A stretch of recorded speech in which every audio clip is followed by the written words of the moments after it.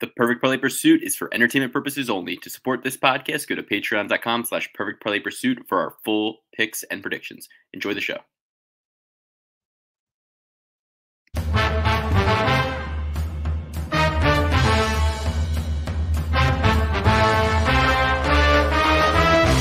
No black cats, just straight facts. Triple P certified. Listen, we can talk about odds all day. It doesn't matter what the odds are. It matters what's gonna happen.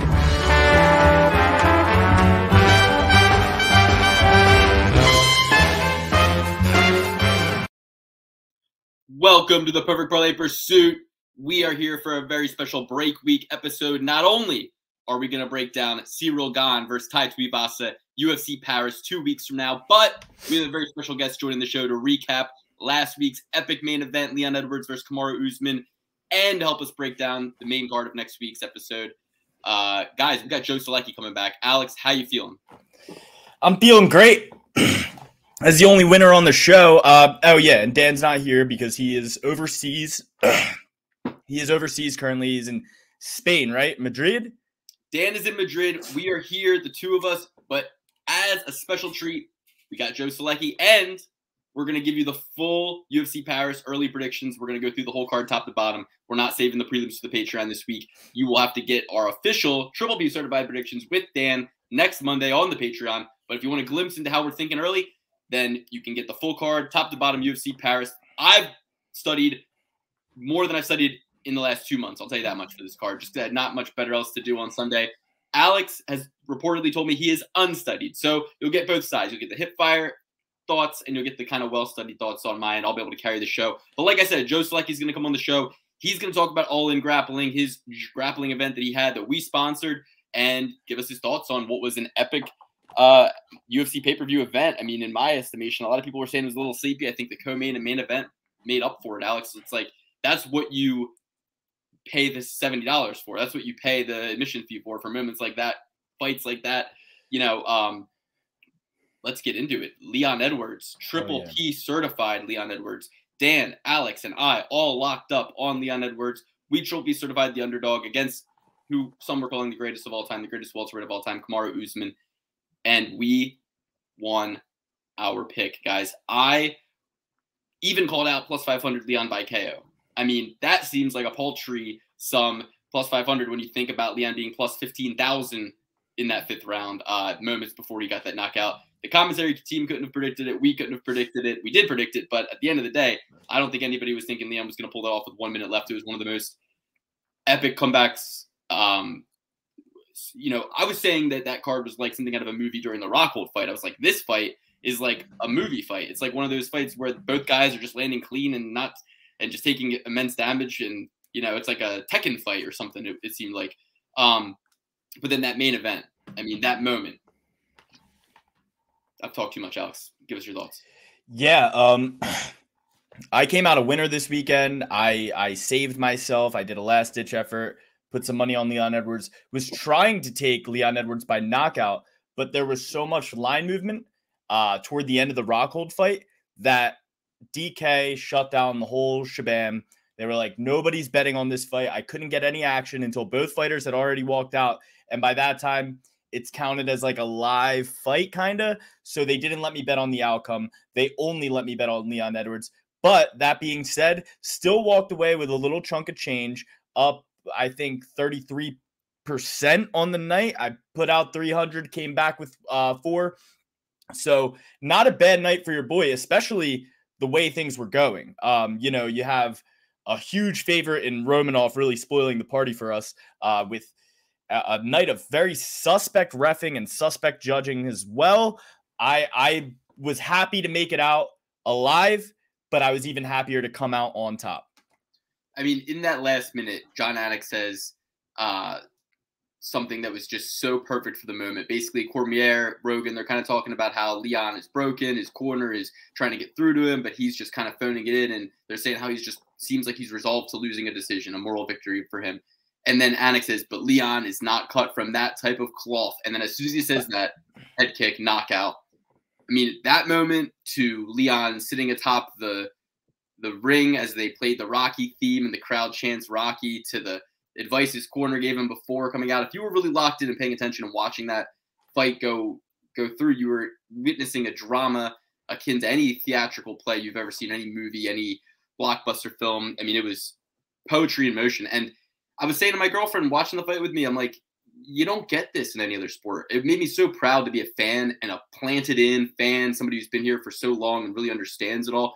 I mean, there's just so much, there's so much karma in the UFC. There's so much like the universe kind of correcting things. Like, you know, I Leon, who's been just down and out from the start, forget his UFC career. I'm talking since he was 15 years old, you know, single mother, father murdered, history of violence and drugs and gang life in his past, and all of a sudden he comes out of that and already has a success story by being in the UFC. But then for him to become a champion, right, and do it in a way where he corrects what happened to him in his last fight with Nate Diaz, almost finishing him with one minute left and kind of claiming the moral victory there and leaving him kind of with uh, not really any of that Diaz push that you get from fighting Nick Nate Diaz and it's like him for him to do that in the last minute. It, it's it's like Weidman and Silva, right? Or Weidman breaking his leg and then in turn getting his leg broken later in his career. It's like all these things kind of just sync up in these moments that just uh I mean it's it's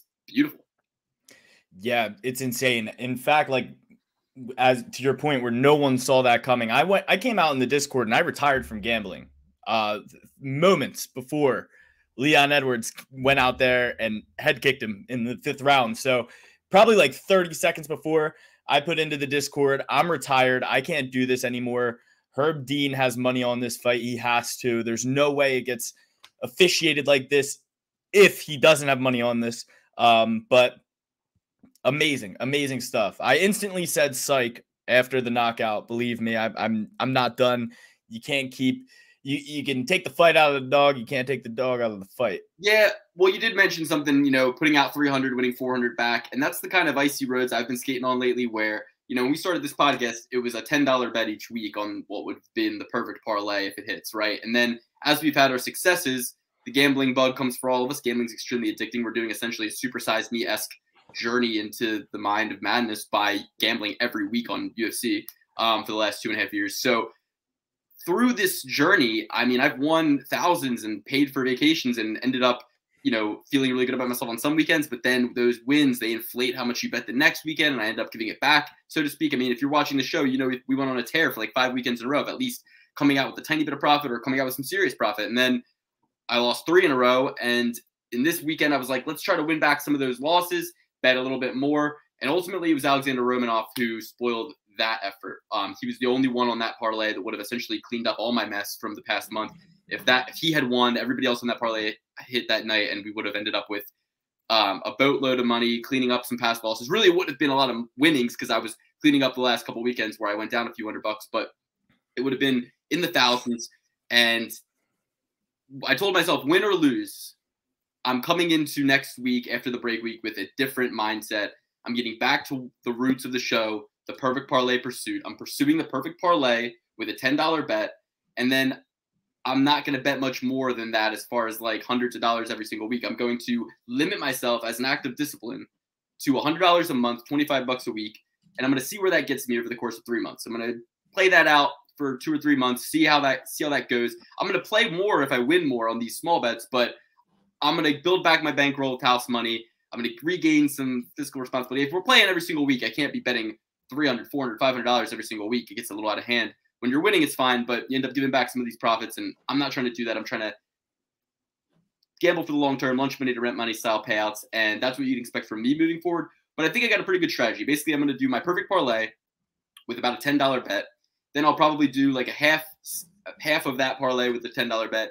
And then i'm going to do five bucks on like the best underdog that i think could win that week and then i'll compound that each week back to the million dollar dog challenge because um, we know we're, we're always just a few right decisions away from becoming millionaires. I mean, tw- you take a dollar and you double it on on 20 underdogs, you have turned that dollar into a million dollars. So I'm gonna start. I'm gonna start uh, at level three, bet five bucks, try to double it each week, and see where we can get with that. But I'm gonna approach things a little bit differently. Um, but I got a real good look at next uh, card coming up, UFC Paris. I took a peek early. Um, Alex, I mean, to me, the, the one that stands out from last week's card that I want to touch on before Joe gets here is just the Alexander Romanov fight. I mean, to me, it's like he dominates in the first round and gasses out. And it's not the first time he's done that. He's an undefeated fighter, but he's kind of given us given us glimpses of this in the past. And I didn't consider Tybura that big of a step up in competition.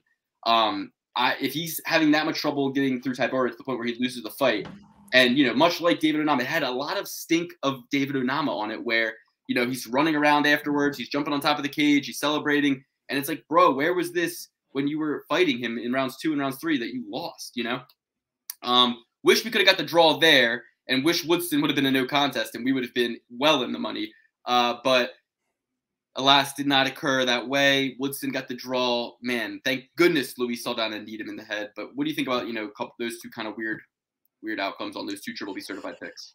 Yeah, I certainly thought it was a draw going into the decision. I mean, I don't know how you do not score the first round as a 10 8. It doesn't make any sense to me. Any judge who didn't score it as a 10 8, he literally pitched a shutout. He struck him 27 times, didn't get touched once, took him down three times, and had probably four and a half minutes of control time. So, what more do you have to do to get a 10 8 in the UFC besides rocking somebody? Like, obviously, he didn't land a single strike. It was he did not land a single strike. He gave no offense.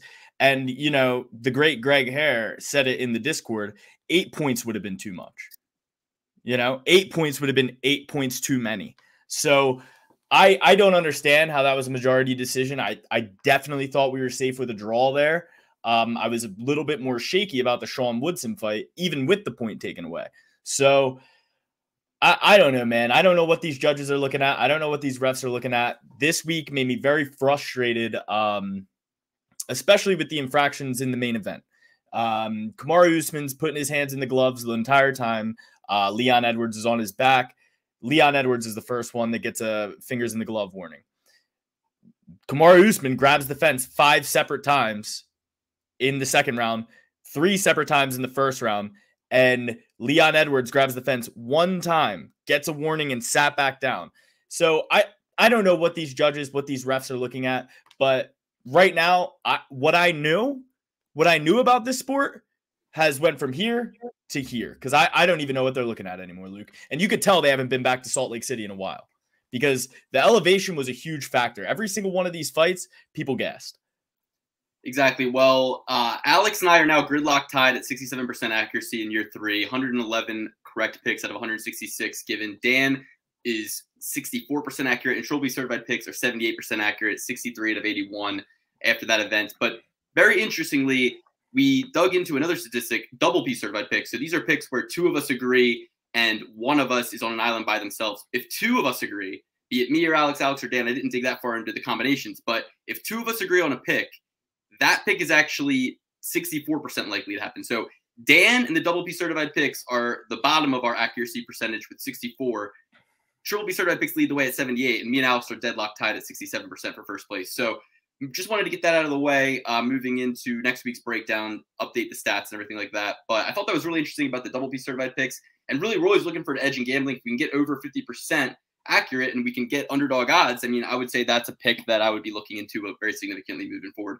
But with that said, um, I'm going to welcome our guest to the show. Joe, we're just talking about last week's card, UFC 278. Kind of a boring card. Nothing really stands out. Uh, yeah, I actually fell asleep during the main card. It was uh, very uneventful. Dude, that was insane. That whole night was insane. Uh, gosh, dude, the Rockhold, uh, Rockhold and Costa reenacted Dada 5000 and Kimbo Slice. they had an excuse because of the elevation. And do you think the elevation really was what played a role in that, or do you think it was just the damage Rockhold took in round one? I mean, Costa came out within the first 30 seconds, bludgeoned him. Um, yeah, dude. Here's the thing. I have another theory on this. I think it was altitude. I think it was probably coming out so hot and getting rocked out of the gate, your legs go. There's another aspect of this that nobody has talked about. Not to, you know, go too far into it, but it seems like is there's a couple guys that have before fights gone in and talked about like how much they've been using psychedelics and how much it's going to help their career. Uh, Kyle Kingsbury, if you remember this a long time ago, I forget who he fought. It was three 10 8 rounds. Like he just got manhandled. Donald Cerrone, after talking about how he saw the whatever shape it was telling what he feared most, and now I'm good to go out and fight freely. Went like this, and it could have been Father Time. Um, I can't think of the other one. And then Luke Rockhold. You're like, dude, like, but then again, he also fought valiantly, but he looked like trash. So uh, I don't know if there's anything to that. I'm of the mindset, and this is probably like, you know, this is probably the same as boxers, you know, staying away from women for 12 weeks. But I don't think a fighter should mess with their mind like that ever. You know, I think if you're going to do that, that should be something you should do after your career or something. And I think that was like a totally different guy that was like, it looked like he was having like a existential crisis during the fight. You know, like he's cursing at him and throwing overhands like he's fighting his demons or something. It was, it was bizarre, you know. So I do think that probably played into it in some way, shape, or form, just in the mental space, which can tire you out. I don't know if that's right or not. That's just like bro science. And Joe, I I was I mentioned it last week on the show. I said if somebody's main point of why I should pick you to win a fight is that I just started using drugs, I would say you're a madman. Yeah. Well, and here's the thing: is it's a form uh, of escape. You know, I know some guys like like they'll they'll use certain things to go home and unwind. And uh, while I don't do that, I guess I can understand that because you're relaxing your body or something. But this is like a whole like mental escape where you're like, Mm-hmm. I think it's good to go through the whole camp having to face what could happen to you and you know think about Paulo Costa. Not like you can't go home and check out, you know, but you're doing that at least through effort. Like you're like, I'm going home and I'm not going to think about my opponent right now. I'm going to watch a movie, you know. But when you're like, I can't get this off my mind, I need to go escape and get away from it. I think there's something to that. And then eventually you're in a you're forced to face it. And I think maybe for the first time, it was when he's in front of 22,000 people at high elevation after three years out of the cage. And you're like, oh my gosh, my legs are going, my arms don't work. I'm hands on my knees tired because, uh, you know, Costa has not had the best gas tank and has a ton of muscle. And while he was tired, he didn't look like Rockhold. You know, Rockhold looked like he could not do it anymore. But maybe there's something on the other side saying that's why he was able to get through it and and push so hard. But it was just really strange, you know. If there's a case for a therapeutic use of these substances, then you have to remember the two biggest things that they would do in a setting of therapy, which is the setting of that, you know, uh, ritual, the setting of the ceremony or whatever. If you're preparing for a fight, you're now taking your brain and you're you're undergoing this kind of like reset mode where now your brain is a lot more malleable, it's more open-minded, it's it's you know, you've unlocked these different pathways, but that's a double-edged sword. It's like, yeah, for somebody who's really looking to, you know, rebuild from past trauma, whatever, um, like you said, at the end of your career, you know, you do these things to kind of like understand like the perspective of your life, whatever. But when you're doing it along the way, you're opening your mind up and you're in this very vulnerable uh, state where you're, you know, the, anybody would tell you this, and you study this with that, you're more, um, more, more suggestible. You're, you're kind of just like in a state of vulnerability, I would say. And now you got cameras and you got spotlights and you got a weight cut and you got all these different stressors. You could see that Luke was very stressed and it's kind of counterintuitive to the whole hippie hip, hippie vibe of like, oh, I'm gonna do mushrooms, I'm gonna smoke pot, and I'm gonna be all like free spirited. But you got to remember that like you're still the mind is not a boomerang. You can throw it very, very, very far. It doesn't mean it'll always come back to you. And sometimes you throw it out very far and it takes time. It's like a wave. You know, Luke threw his mind out into this this deep sea, and now the waves are slowly bringing it back. But hey, you got to fight now. So there's no time to to kind of process all this. And yeah, I agree with you. I think that a lot of that stress was was um, exercised during the fight, and uh, that to me though was what made it a valiant performance. Was you saw Luke Rockhold want out of that at the end of that first round. I mean, the body language. Even Henry Hooft felt bad for him. Was talking to Parillo. He's like, he's exhausted, man. We Parillo's like, of course he's exhausted. It's a fight. Come on, guys. Like, get get, get right with it here. Parillo had to be the uh, the bad guy in the room. He, Henry Hooft was was just good cop that night, I guess, for Rockhold. But uh, but yeah, like he he had opportunities to check out. He had opportunities to whisper to his corner, throw in the towel, dude, and they wouldn't have been unjustified in doing so. Everybody would have forgiven them. Uh, but he didn't. You know what I mean? He was in there, and that last moment of just if you don't know what Rockhold was doing when he rubbed his blood on his face there, like you're not a competitor. Like you, everybody's been there in your life where you've just been like so frustrated, but you're like, you know what? If this is all I can do, this is what I'm gonna do. You don't know how many wrestling matches I got DQ'd from just throwing headbutts because I was already losing so bad. I'm like, That's not really what I'm talking about. Hey, rubbing blood is within the. so I'm not really talking about that. I'm more just saying, you know, it's a wrestling match and like you're digging your chin into the guy's back in referee's position because you know he's up ahead on points, but you're like, he's not going to enjoy this seconds that I'm here where the ref lets me be here. So. I've I've up kicked a few chests in like gi jiu-jitsu matches like it was pride. Like kicked him in the chest like it was uh you know, Japan 2004, like just frustration, like losing by advantage, and like, oh, yes, I, I, I totally understand what he was doing there.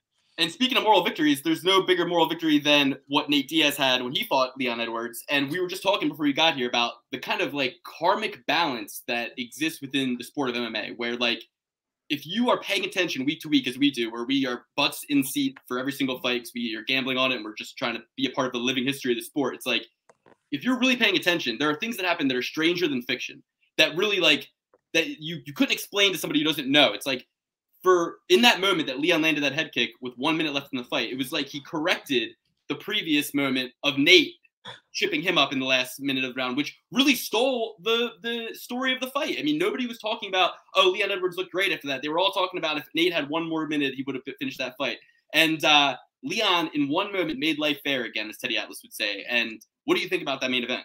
Dude, you you just literally right in that last sentence stole what I was going to talk about, which is Teddy Atlas, because that's what I was thinking about. Is like so many nights I feel like him, where like he loves the integrity of the sport, and you can tell he always roots for like the good guy for the most part. And like I feel like that, and like you know, four out of five events I leave like, oh man, like one of the guys I like lost or this happened. I hate to. And then every now and then it rights the ship, like said, where you're like, man, like this sport is like poetic, and this is why I've been watching it for so long, and why I always will. Like, and that was it. And the other thing I thought was cool that kind of righted the ship or the wrongs or whatever you want to call it was uh, that same when he called time on that body shot was the same thing that Usman did with Covington. That it was a mm-hmm. clean shot, and had he not done that, maybe the entire sequence is off. Maybe Edwards is a little more tired. His brain's not working as good. Doesn't throw that fake left. So you know, who knows? But you're like, it, finally you left with somebody that was cheating, getting penalized. I mean, he was grabbing the cage all night long. Uh, Edwards got called for it the one time he did, but Usman's known for like putting the cage between his gable grip and locking hands and all kinds of things. You're like, man, like I, do, I don't like seeing the guy that's unbeatable. You know, it's probably because I don't I don't register with that guy. It doesn't like I'm like I'm never gonna be the guy that's like he's not beatable at all. So I, I was just that was just that was amazing, you know. Um, and I don't think it was luck. Like we saw how skilled he was in the first frame. Like when they were both fresh, he dominated, which I don't want to. I'm not a big Colby Covington fan at all, actually. But when he says like CEO of EPO, it really does make you wonder. And uh, oh, I hate when people make accusations or anything. like, uh, you know, injected his also. But the thing is, is like, look at the muscle he carries. He's notorious for having bad knees. He can't run sprints, can't run. He only does Airdyne, which is sufficient for conditioning. But but he keeps it's not like other champions. The other champions they get fatigued, but they they don't gas ever. You know, they keep a good output. He keeps the same explosiveness in round one through round five. He's got more muscle than anybody we've ever seen. And somehow when he comes out of the corner, he's always fresh. The only person we've seen like that is Dillashaw. So it really does make you wonder. But uh I think skill for skill, Leon Edwards is just as good. I don't know that in a rematch, I wouldn't I wouldn't take him. I think I, I, think the same thing can happen in any single round of a rematch. So I think that's pretty awesome. It was an exciting fight. And they got Dana White thinking about having an outside event at Wembley Stadium, which would be absolutely amazing. And you know, Leon has the home court. And something you said about the accusations, it's funny because I always see these posts, and I'm not somebody who knows anything about steroids whatsoever. But I always see these posts. The same guys that are accused of steroids all have those weird, like, protrusions in their muscles that I I don't know what they are, and they all all the people who are accused have those similar. I don't even know what to call them on their body, and I I, I don't get it. Well, it's interesting that you mentioned the fence grabs and the glove grabbing and the things that were not called on Usman's side but were called on Edwards' side because there's an article that circulates on YouTube. I don't even know if this is like a reputable. I, to be honest, it's a lot of clickbait on this site, so I'm not going to give them like too much credit. But it's at calfkicker.com or whatever. I, I knew exactly what it was. yeah, it always just popping up on my feed, but I'll and I'll click it like every 15th time. But this one was just a montage. It was actually pretty good. A montage of every instance of Usman doing something and not getting called for it. Um, and then yeah, like you mentioned, he, he resets them in the position the one time that he did it. So I'm going to couple that with moments before stepping into here, I'm watching MMA Hour, and Paulo Costa is talking to Ariel Helwani about Jason Herzog deducting a point away from him uh, for the first eye poke in the Marvin Vettori fight. And he said that Jason Herzog confronted him about it, like, um, I guess in passing during fight week or whatever. And he's like, you know, I just want to understand your perspective on it. And Paulo told him, he's like, look, you took it away the first time. It, it was an accidental eye poke. You took away the point the first instance of a foul. He's like, I didn't see you do that in any of these other fights.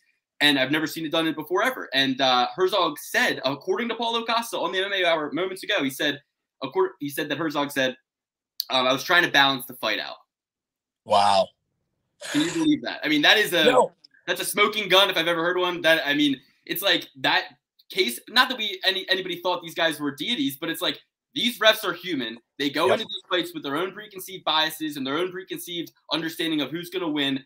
And especially with champions, the two that come to mind the most are Adesanya and um, Usman. Adesanya for different reasons, but it's like they kind of come in and they have this extra power up where they are allowed to sort of, in the judge's eyes and the ref's eyes, get away with these um, kind of like it's almost like in basketball when a guy tra- when LeBron travels like steps and the ref's like that's poetic license. He who, do Yep. we know the game or does LeBron know the game? He didn't travel. Like you know what I mean? It's it's getting kind of crazy. That's exactly it. And the thing is, is like that whole you got to take it from the champ. That's crap. Like, Mhm. okay, so if that's the case, then in every fight that I'm the underdog, do I have to beat the favorite t- two to one? Like, no, I just got to win. You know what I mean? Like, I hate that. I think they go in with that mindset of like, well, he's the champ. He's got to take it from the champ. That and like, where does it say in a referee? If you look up referee on the internet, I can't find anywhere where it's going to say make the event more entertaining. And if there's ever proof that they're fallible humans, like I mean, we all are, but that like they play into the crowd and stuff. Watch the Apex fights. All I said all quarantine was like, this is a grappler's paradise because they're not standing anybody up because there's no crowd booing. So they're not going, oh man, these people hate me because they want me to stand it up, yada yada. Nope, there was none because there was no crowd. Eh, It's not their job to make it entertaining, which honestly, they he actually did. Uh, was it Herb? I can't remember. Whoever stood, whoever's the main event, did stand them up off the fence very, very early in that fifth round, which probably led to uh like they were on the wall for like 15, 30 seconds tops. And they were like, all right, all right, out in the middle, guys. Come on, you gotta work. Like, that's not your job. That's not your job. Your job is to make it a fair fight. And you're not even doing that. So why don't you just worry about the fouls instead of uh, you know, making it fan friendly, which, you know, is not your job. And who cares about the drunk audience? Let them boo because it's like these fights going longer. They're gonna buy more beer. They're gonna be bored in their seats. They're gonna be like, ah, another beer, another beer. Then, Yep. then you make more money as a stadium. So But at the same time, these guys, they're not necessarily getting paid all that much, um, you know, by the commission. I, I think I read somewhere once that Herb Dean made $1,600 for officiating a Conor McGregor fight where he made like 120 million. So like, you know, at the same time, it's just like when your um when your little league ref comes there drunk and is calling strikes all over the place. It, it- it's like the same thing, and and that's why Dominic Cruz got so mad at uh remind me short fuse Oh, uh, uh not Jim- short fuse. Keith Peterson. Short fuse Keith Peterson, right? Isn't that his name? no nonsense. No, no nonsense. nonsense. No nonsense. Did I already tell the story on here about Herb Dean coming up to me like five minutes before my last fight? Yeah, yeah, you Okay. did. Yeah, dude, the, it looked like he just rolled out of bed. Not to like, I don't want to be the Dominick Cruz in this scenario, but you're like, hey man, like, come on, what are we doing here? Well, no, you said that afterwards. We were like, man, Joe got got gave us the inside baseball on that on that one. We, I was like, I was like, that's hot. That's hot. Uh, hot take right there. Um. So yeah, I mean, the thinking. you know, The last thing I want to say about the Leon Edwards fight, you know, Jon Anik s- teed it up so perfectly with what he said right before, where he they were all like like they said they were writing his obituary. Jon Anik tees it up. He's like, that's just not the type of guy Leon Edwards is. Boom. If you go back and watch, the second he says that, lands the head kick uh, knocks him out. Last thing I'll say is like, yo, if I'm Leon Edwards, I'm gonna try to get in there as quick as possible.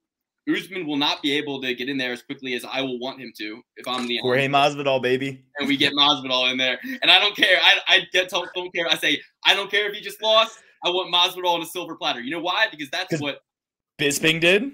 Bisping got it. Bisping got it. He got to say, "I want Dan Henderson," and Yep. and you know what? Yep. And that's who we got. That being said, Dan Henderson was coming off a win. If you remember, he he KO'd uh, Hector Oh, yeah. Lombard with that thick elbow, so he's kind of justified. But yeah, and if not Masvidal, give me Colby Covington. You know what I mean? Uh, Give me No, that's a terrible matchup for him. That's a terrible matchup. I mean, is it as bad as Usman? I'd say worse. I'd say worse because Usman. It's like yeah, it's like that um uh the meme from Spider-Man where he's like, I'm somewhat of a scientist too. Like once a grappler gets a knockout, they're like, Oh, I'm somewhat of a striker too. So so Usman kind of fell in love with his hands a little bit, I would think. Not that he really portrayed that much in the fight, but once you have that confidence in knocking somebody out like Jorge Masvidal, you're like, oh, who's Leon Edwards? Leon Scott, like you're Colby Covington or something. So I, I don't know. I, I think that all grapplers fall into that folly where they get their first knockout and then they fall in love with their hands and then they're a lot more confident standing up. And it's like Leon Edwards said, he's like, yeah, he's a great boxer, but this is mixed martial arts. And we're using all all the weapons that we possibly can, and that's how I got him caught. How disrespectful to be if George St. Pierre is like, you know what, I'm gonna come back again. I, I thought George St. Pierre would ruin Kamaru Usman from the start. Like No, I mean, GSP's the goat. But if, but if I'm Usman, that's the one elephant in the room that he never really said, which you know, too much homage to GSP. He should have been sitting there saying, "Hey, they say it's either me or GSP." Well, guess what? George was willing to come back and fight old drunk one-eyed Bisping. He was willing to go down and fight little boy Khabib. But guess what? He ain't willing to come to 170 where he originally was, and that's because I'm here. And that's what he should have been saying the whole time. But that never really came out of Usman's mouth. That might have pulled GSP into the fire a little bit. That might have gotten GSP up for that, you know. And then Usman versus GSP in Canada would have been the best. But if He's I'm too Edwards- busy watching aliens, my man. yeah, if I'm Edwards, I, I'm going to say I want GSP. I'm going to make it right for Bisping. And it would have been much cringier when Usman said it than how you just said it, which was a great promo. I know, I know. I, I, these guys need writers. I would, I would happily do it. Joe, Joe, if you need a writer, I got you, buddy. All right, all right. But I'd have to, I'd have to really like adapt to do a different character. I'd, I'd have to, I'd have to be like, all right, I got to put myself in the, in the white hat for Joe. I can't, I can't do, can't do black hat stuff. All right, but either way, we got a, a, a matchup, UFC Paris. We're gonna do early predictions for this. Joe, however much you got time for, I know you got to teach class coming up. But before we get into that, I gotta mention All In Grappling. You just had an event. I buried the lead here. That was supposed to come at the top of the show, but Leon Edwards bumped you. How did it go? I, I saw some of the people who were competing, and you had everybody from, I mean, people were coming down from Tom DeBlass's gym, it looked like, from Jersey, all the way down to North Carolina. It looked like you had over 100 people, 117 registrants I'm seeing here. Uh, how did it go?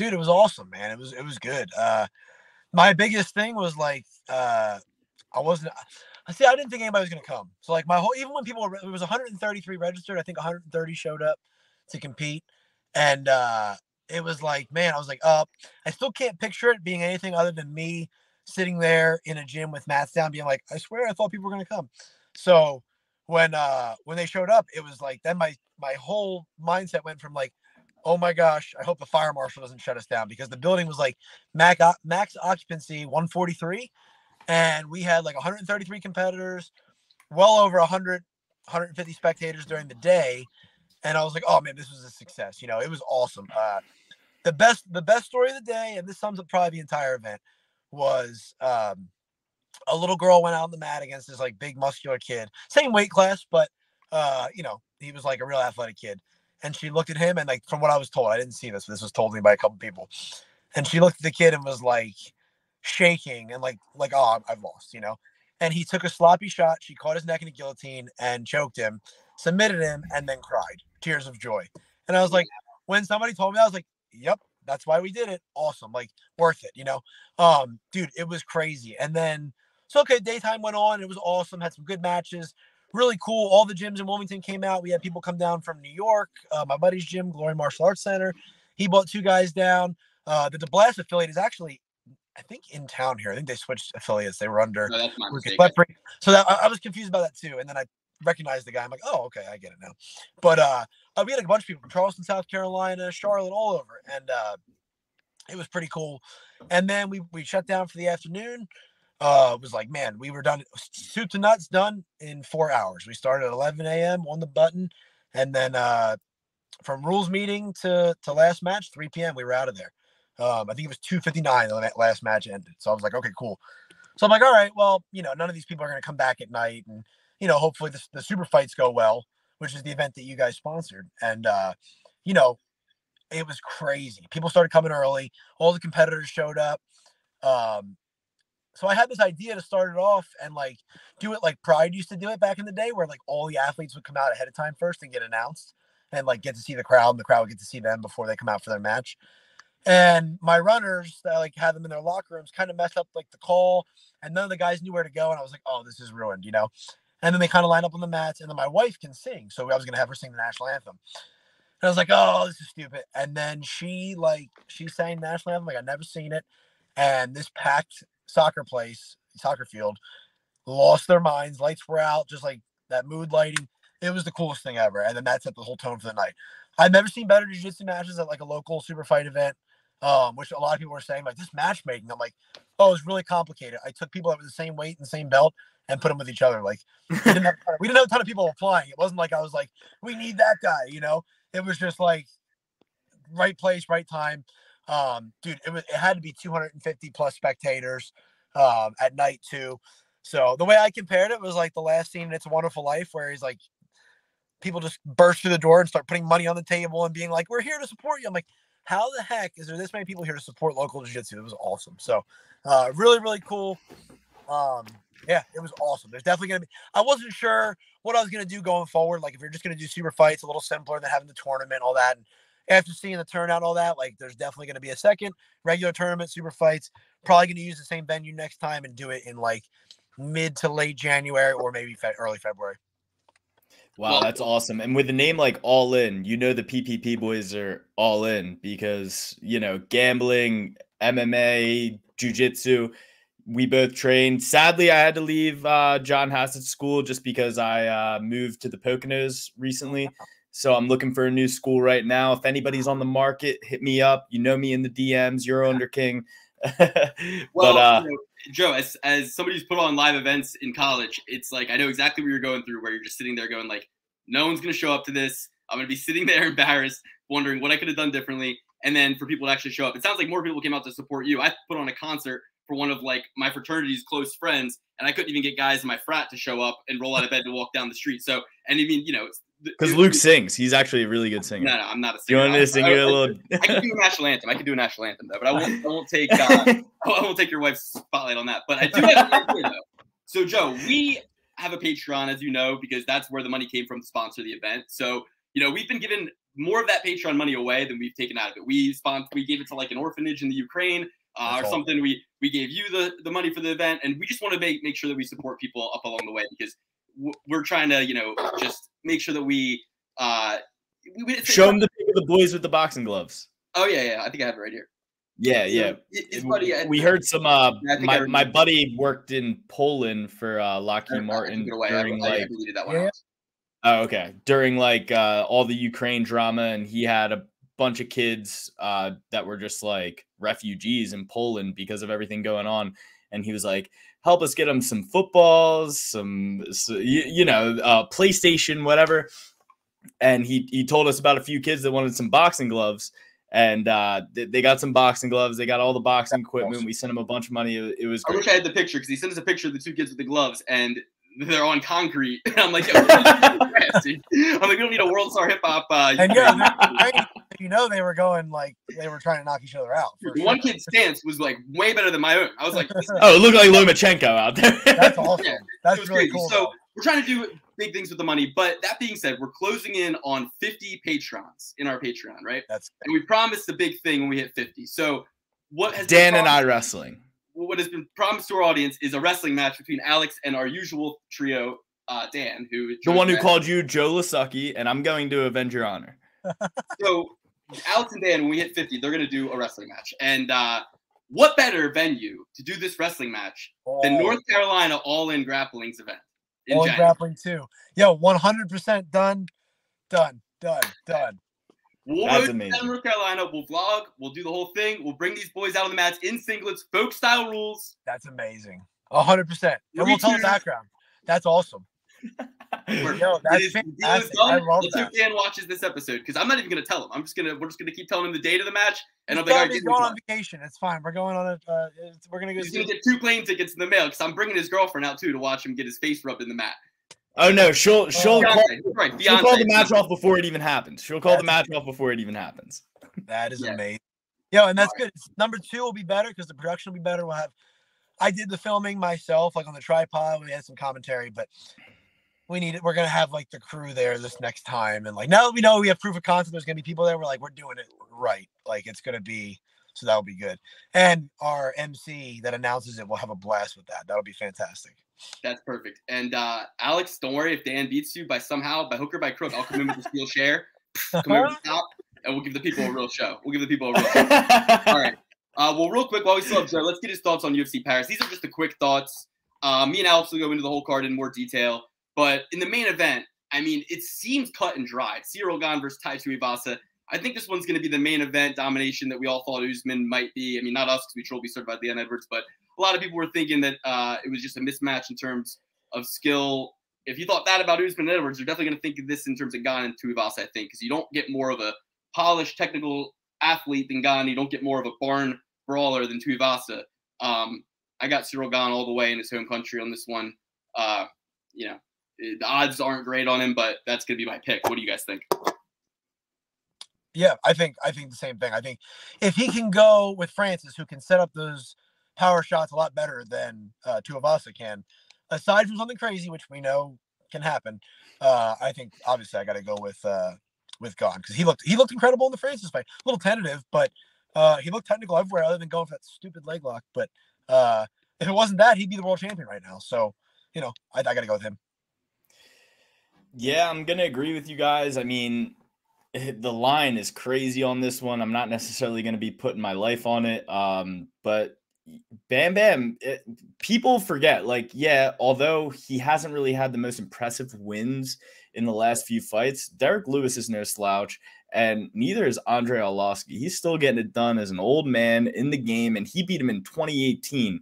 So, um, I mean, Andre Arlovski is one of is probably my favorite heavyweight. Him and Alistair Overeem, my two favorite heavyweights of all time. Um, I think Bam Bam isn't getting the right shake here. I think that he has the nuclear option. He can put anybody away. This is going to be five round affair. Um, he he he sucked Derrick Lewis into his game, whether it was by getting rocked or not.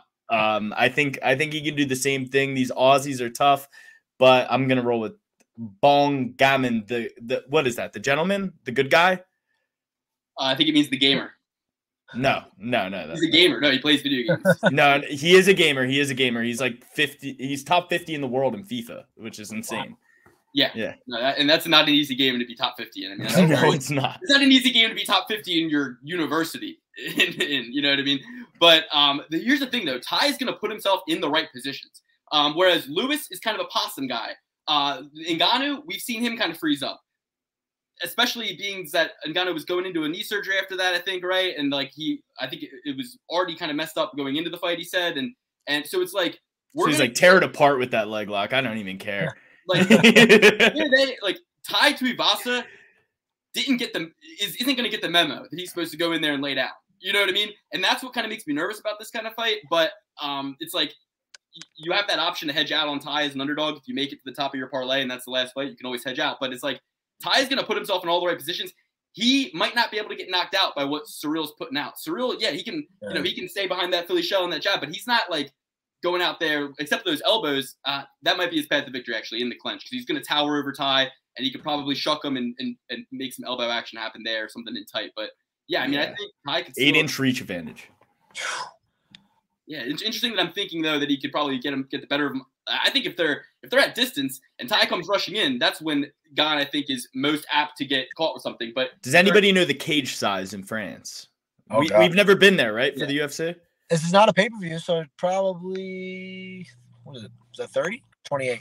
28? either way, these guys gonna make these guys gonna make it seem like they're fighting inside of a dog pen. I mean, it's gonna be it's gonna be these boys are big. Which is crazy. Um, 'cause I fought in DC and that cage felt gigantic. It was only a fight night cage. And then you watch heavyweights, like that's a phone booth. It's crazy how gigantic they are. Yeah, and then you see the regional promotions and the heavyweights are almost knocking the cage over. I mean. UFC, we're the only ones that bolt that thing down. But um, all right, so it sounds like we're all on the same page there. Giving Ty a shot, but it's gonna probably be the hometown guy. Um, Robert Whittaker, Marvin Vettori. This one's more most interesting to me. Um, Vettori's coming in here a dog, guys. Uh, I don't see it that way. I, I see Vettori as the bigger, more athletic, more dangerous um, striker in this. In this, I mean, I know Robert Whittaker's you know the karate guy, but I think Vettori just is going to present a lot more danger in there than Whittaker, who's fought as low as 170. I don't think Vettori's making 170. Um, I thought Vettori looked better against Adesanya both times he fought him. And to me, Vettori, King's MMA, uh, he's going into Paris. Um, just keep him away from the wine until after the fight. But you know, Marvin likes the wine too, just like Paulo. But we need, uh, we I don't know. We I think Vettori gets done as an underdog here. Oh man. Good. Okay. Um, I I couldn't disagree more. Honestly, I think Bobby Knuckles is a bad man, and I should preface this by saying Luke hates Bobby Knuckles. Luke does not like the Reaper. Luke does not like Robert Whittaker at all. He thinks he's a nerd. So I'm I'm rolling with Bobby Knuckles strong here. I thought the last fight against Israel Adesanya could have went literally either way. So I I don't. It's it's another one of those scenarios where you got to beat the champ to be the champ, right? I, I thought that Robert Whittaker did enough at the end of the day, and I think that Yoel Romero is a much bigger grappling threat than Marvin Vettori. I, I don't think any Italians know how to wrestle except for uh, uh the the dude who always uh Iron, uh, um, who, who? The guy who always wrestles Jordan Burroughs. Uh, his name's like Chianzo or some shit like that. I, am not entirely sure his name. Frank Chamizo. Frank Chamizo. That's his name. Yeah, there we go, baby. Um, that's the only Italian I know that knows how to wrestle. I don't even think he's from there. I think he just had like you know like uh, the Olympic stuff where you can mm-hmm. transfer mm-hmm. over with nationalities. So I'm going with Bobby Knuckles here. I think the Reaper has a lot more in him, and I think that even it, it, this might be one of the weird scenarios where he might have to fight Israel Adesanya a third time. Gosh, yeah. See, I'm I'm so torn now because it, it's so weird because when you think of re, like recency bias, you're like, okay, Vettori is a little nuts, so he's going to go after Adesanya. You know, he came in, and you go, okay, well, Whittaker's a pretty decent counter striker as well, but if the shots, I, th- I think Israel's a way better counter striker, and he's not knocking Vettori out. Uh, Whittaker got started kind of slow against Adesanya, but is he just doing that because he already fought him? He's been knocked out by him. But it's a three round fight, right? Because the main event was mm-hmm. gone. Yeah. I take Vettori just on pressure, I think. I think in a five round fight, I would take Whittaker because it's more time. He can start slower, feel him out. Uh, I think I'm going to take Vettori just because I think pressure. I think he's going to just get on it right from the gate because he's a little nuts. Like a Merab situation where yeah. Jose Aldo. I don't know. Like Whittaker's a good wrestler to hang with him. But I don't know if he's going to take him down and keep him down because even taking Adesanya down, he took him down, but he popped right back up. So it's not enough to do anything on the ground where he may have an advantage. I think uh, Vettori's so strong. He's so big. Uh, I mean, think about the way he took Adesanya down the first time was just literally out muscling him. Like he'd have a body lock and just toss him to the floor. You know, he wasn't doubled on the hips or uh, on the knees. He's on the hips and just doing things wrong and kind of ragdoll him. So, who do you uh, think's the better grappler out of uh, Robert Whittaker and I, Israel Adesanya? Or I would think Whittaker. Like if we're mm-hmm. talking about submission game, but I think on the cage and uh in the clinch, I'm I would take Vettori just on size. He's more well, technical. I, I, was saying between uh Bobby Knuckles and Israel Adesanya. Oh, I think definitely, uh definitely Whittaker. Yeah. But see, it's about that transition time. So it's like I don't. You're right. I don't think Vettori is going to pick Bobby Knuckles up, walk him to the center of the cage, and drop him to the center of the cage three times and win a three round decision off of strictly grappling. But I think that his physicality combined with his stubbornness and his forward pressure is going to put uh, Robert Whittaker in a situation where all things equal, the striking that Whittaker is going to put out, Alex, isn't going to be enough in the judge's eyes to make that much more of a difference over Vettori pushing him against the fence for two minutes here, maybe getting a takedown for a couple seconds there, getting some ground and pound. It's going to be. I think Robert Whittaker knocks him out though. You really think that? That's crazy. Yeah, like I think Robert Whittaker has a good chance of knocking him out in this fight. Vettori is way too stubborn. Vettori is just he is. Is he more stubborn than Kamaru Usman? And is Robert Whittaker a better striker than uh, Leon Edwards? Put it this way: we saw what Vettori did to him. Usman's a better wrestler than Vettori for sure. What, what does that Paulo Costa do to Robert Whittaker? The Paulo Costa that fought Marvin Vettori at 225 pounds. Hmm. Robert Whittaker's not weighing 225 this side of Easter. True. You know what I'm saying? So it's like we we gotta. I just think that Vettori has had the more the better strength of schedule, even though that Robert Robert's been active and stuff. I just think that you look at that Kelvin Gastelum fight. I don't know. I I don't. I think this is a bad matchup for Robert Whittaker. So I'm taking the underdog. Happy to do it. And, yeah, but uh, Marvin didn't have to deflate himself just because you know um Paulo Costa pushed the weight back up. So yeah, he might have deflated himself a bit, but on Wednesday he knew that the fight wasn't going to be at 185. Listen, so, you're, you're, too close to the forest to see the trees. You love Robert Whittaker, um, you know, and you I, hate him. I, I, don't hate him, dude, but I, I just, uh, I'm just like inventory this matchup. All right, I'm, fair enough. Fair you enough. Know, uh, but we got this is another interesting one. Even money fight. Alessio Di Chirico versus Roman Kopylov. Um, the lasting memory that stands out in the Roman Kopylov fight is him against Duri, uh, Albert Duraev. I just remember him kind of looking like he was very accepting of the bottom position in that fight. Um, still slinging it out. Good display of grit, but got bullied in there against Duraev. Whereas Chicarico, this guy, I mean, he from his post-fight interviews to his pre-fight stuff, everything this guy's saying, he's always like angry about like other guys not getting interviewed when they lose and stuff. He's like he's always saying wild shit, and he's like kind of a head case, like even in the way that he fights, and that you know he'll have these great performances against guys we respect. Joaquin Buckley comes to mind, knocks him out with a head kick in the first round back in 2021. Then goes and gets head kicked in the first round by Abdul Razak Alhassan, who we also respect. But a decision loss to Zak Cummings before two decision losses prior to that, then a split decision win against Julian Marquez. D Chicarico is all over the place um, in my mind. I don't know which D Trico I'm going to get here. Um, I, am gonna I'm I'm gonna take Roman Kopylov here as a slight underdog, even though I don't think his last performance was all that great, and I think he's got a lot less experience. And I expect D if D Chicarico comes in at his best, I think he wins here. But I, I just think that something about Roman Kopylov's losing streak is gonna is gonna make him the hungrier dog in this situation. I, I think I'll take D, D Chicarico. Uh, just from the ones I've seen. I'm not as familiar with Roman, but uh, I think he's just he's just wild. You know what I mean? I think if it was somebody that wasn't on a losing streak, I would go like uh Alhassan or uh, you know, they, I don't think he's in danger of getting finished when he gets reckless. You know what I mean? Mm-hmm. So uh, I think he can be how nuts he is and go wild and let loose. And when he does that, you know, he either wins big or loses big. So gun to my head, I would take him, but I'm not confident in that pick. Yeah, I'm also going to take D Chirico here. Uh, I know I went France against an Aussie, took France. I know I went Aussie against an Italian, and I took the uh, Aussie in this one. And now I'm going Italian against a Russian. This is not something I'd usually do. The Russians are amazing at wrestling. They're the second best wrestling country in the entire world, except for the US of A. And um, I'm going to go with the Italian here. I, th- I, think he really gets it done. He's got almost double the amount of fights. He's only a year older. Always fear the young veteran. Uh, I, I think Alessio Di Chirico gets it done this guy doesn't have the threat to knock him out really quick, and I feel like that's a way that he usually loses a fight. Yeah, he has a I, few decisions. He has a few decisions though. Yeah, no, no, it's it, he's. I think he's definitely the more fast twitch guy compared to Kopylov. I think Kopylov could blanket him with a lot of pressure. Um, he, and uh, but yeah, Kopylov's not the wrestling type of Russian though, Alex. So he isn't. He isn't. Um, all right. He's more of a beat. uh, we got a couple more main cards to get into here. Um, Nasrat Haqparast taking on John Makdessi. And to me, I wrote down uh, some notes on this one, guys. I, I got uh, Nasrat all day. He's definitely impressed us. He's definitely somebody to watch from that region. But for me, the the thing is the age. I mean, he's uh, fighting a guy who's 37, hasn't fought in a year and a half. And now he's going to another country. Um, I just don't think he's going to travel well. I think Nasty Nas is usually on the road, so he's used to this type of thing. Uh, we know he fought valiantly in bad situations. So give me Nasrat. One of the locks of the night for me.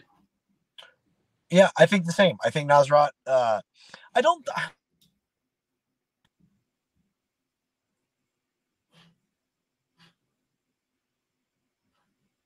Joe, you're muted.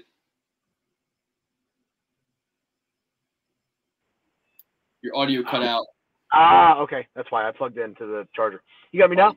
Yeah, yeah, you're good. Okay. Sorry. Um, yeah, I think Nasrat. I think uh, I said Makdessi's a, a good fighter. He's super technical, but I think the pressure will be too much. I think he needs time and space to get what he needs to do done. You know, he mm. tends to go to decisions and kind of paces himself pretty well. He's got some good, you know, spinning kicks and stuff like that too. But I think the pressure from Nasrat's too much. Because I remember actually watching him a good bit, uh, Makdessi, thinking we were on the same card on one of the times, and I was like, that's somebody I may see, but I like that matchup for that reason. I thought I could pressure him, you know. So I think I think it's similar. Um, I'll go Nasrat.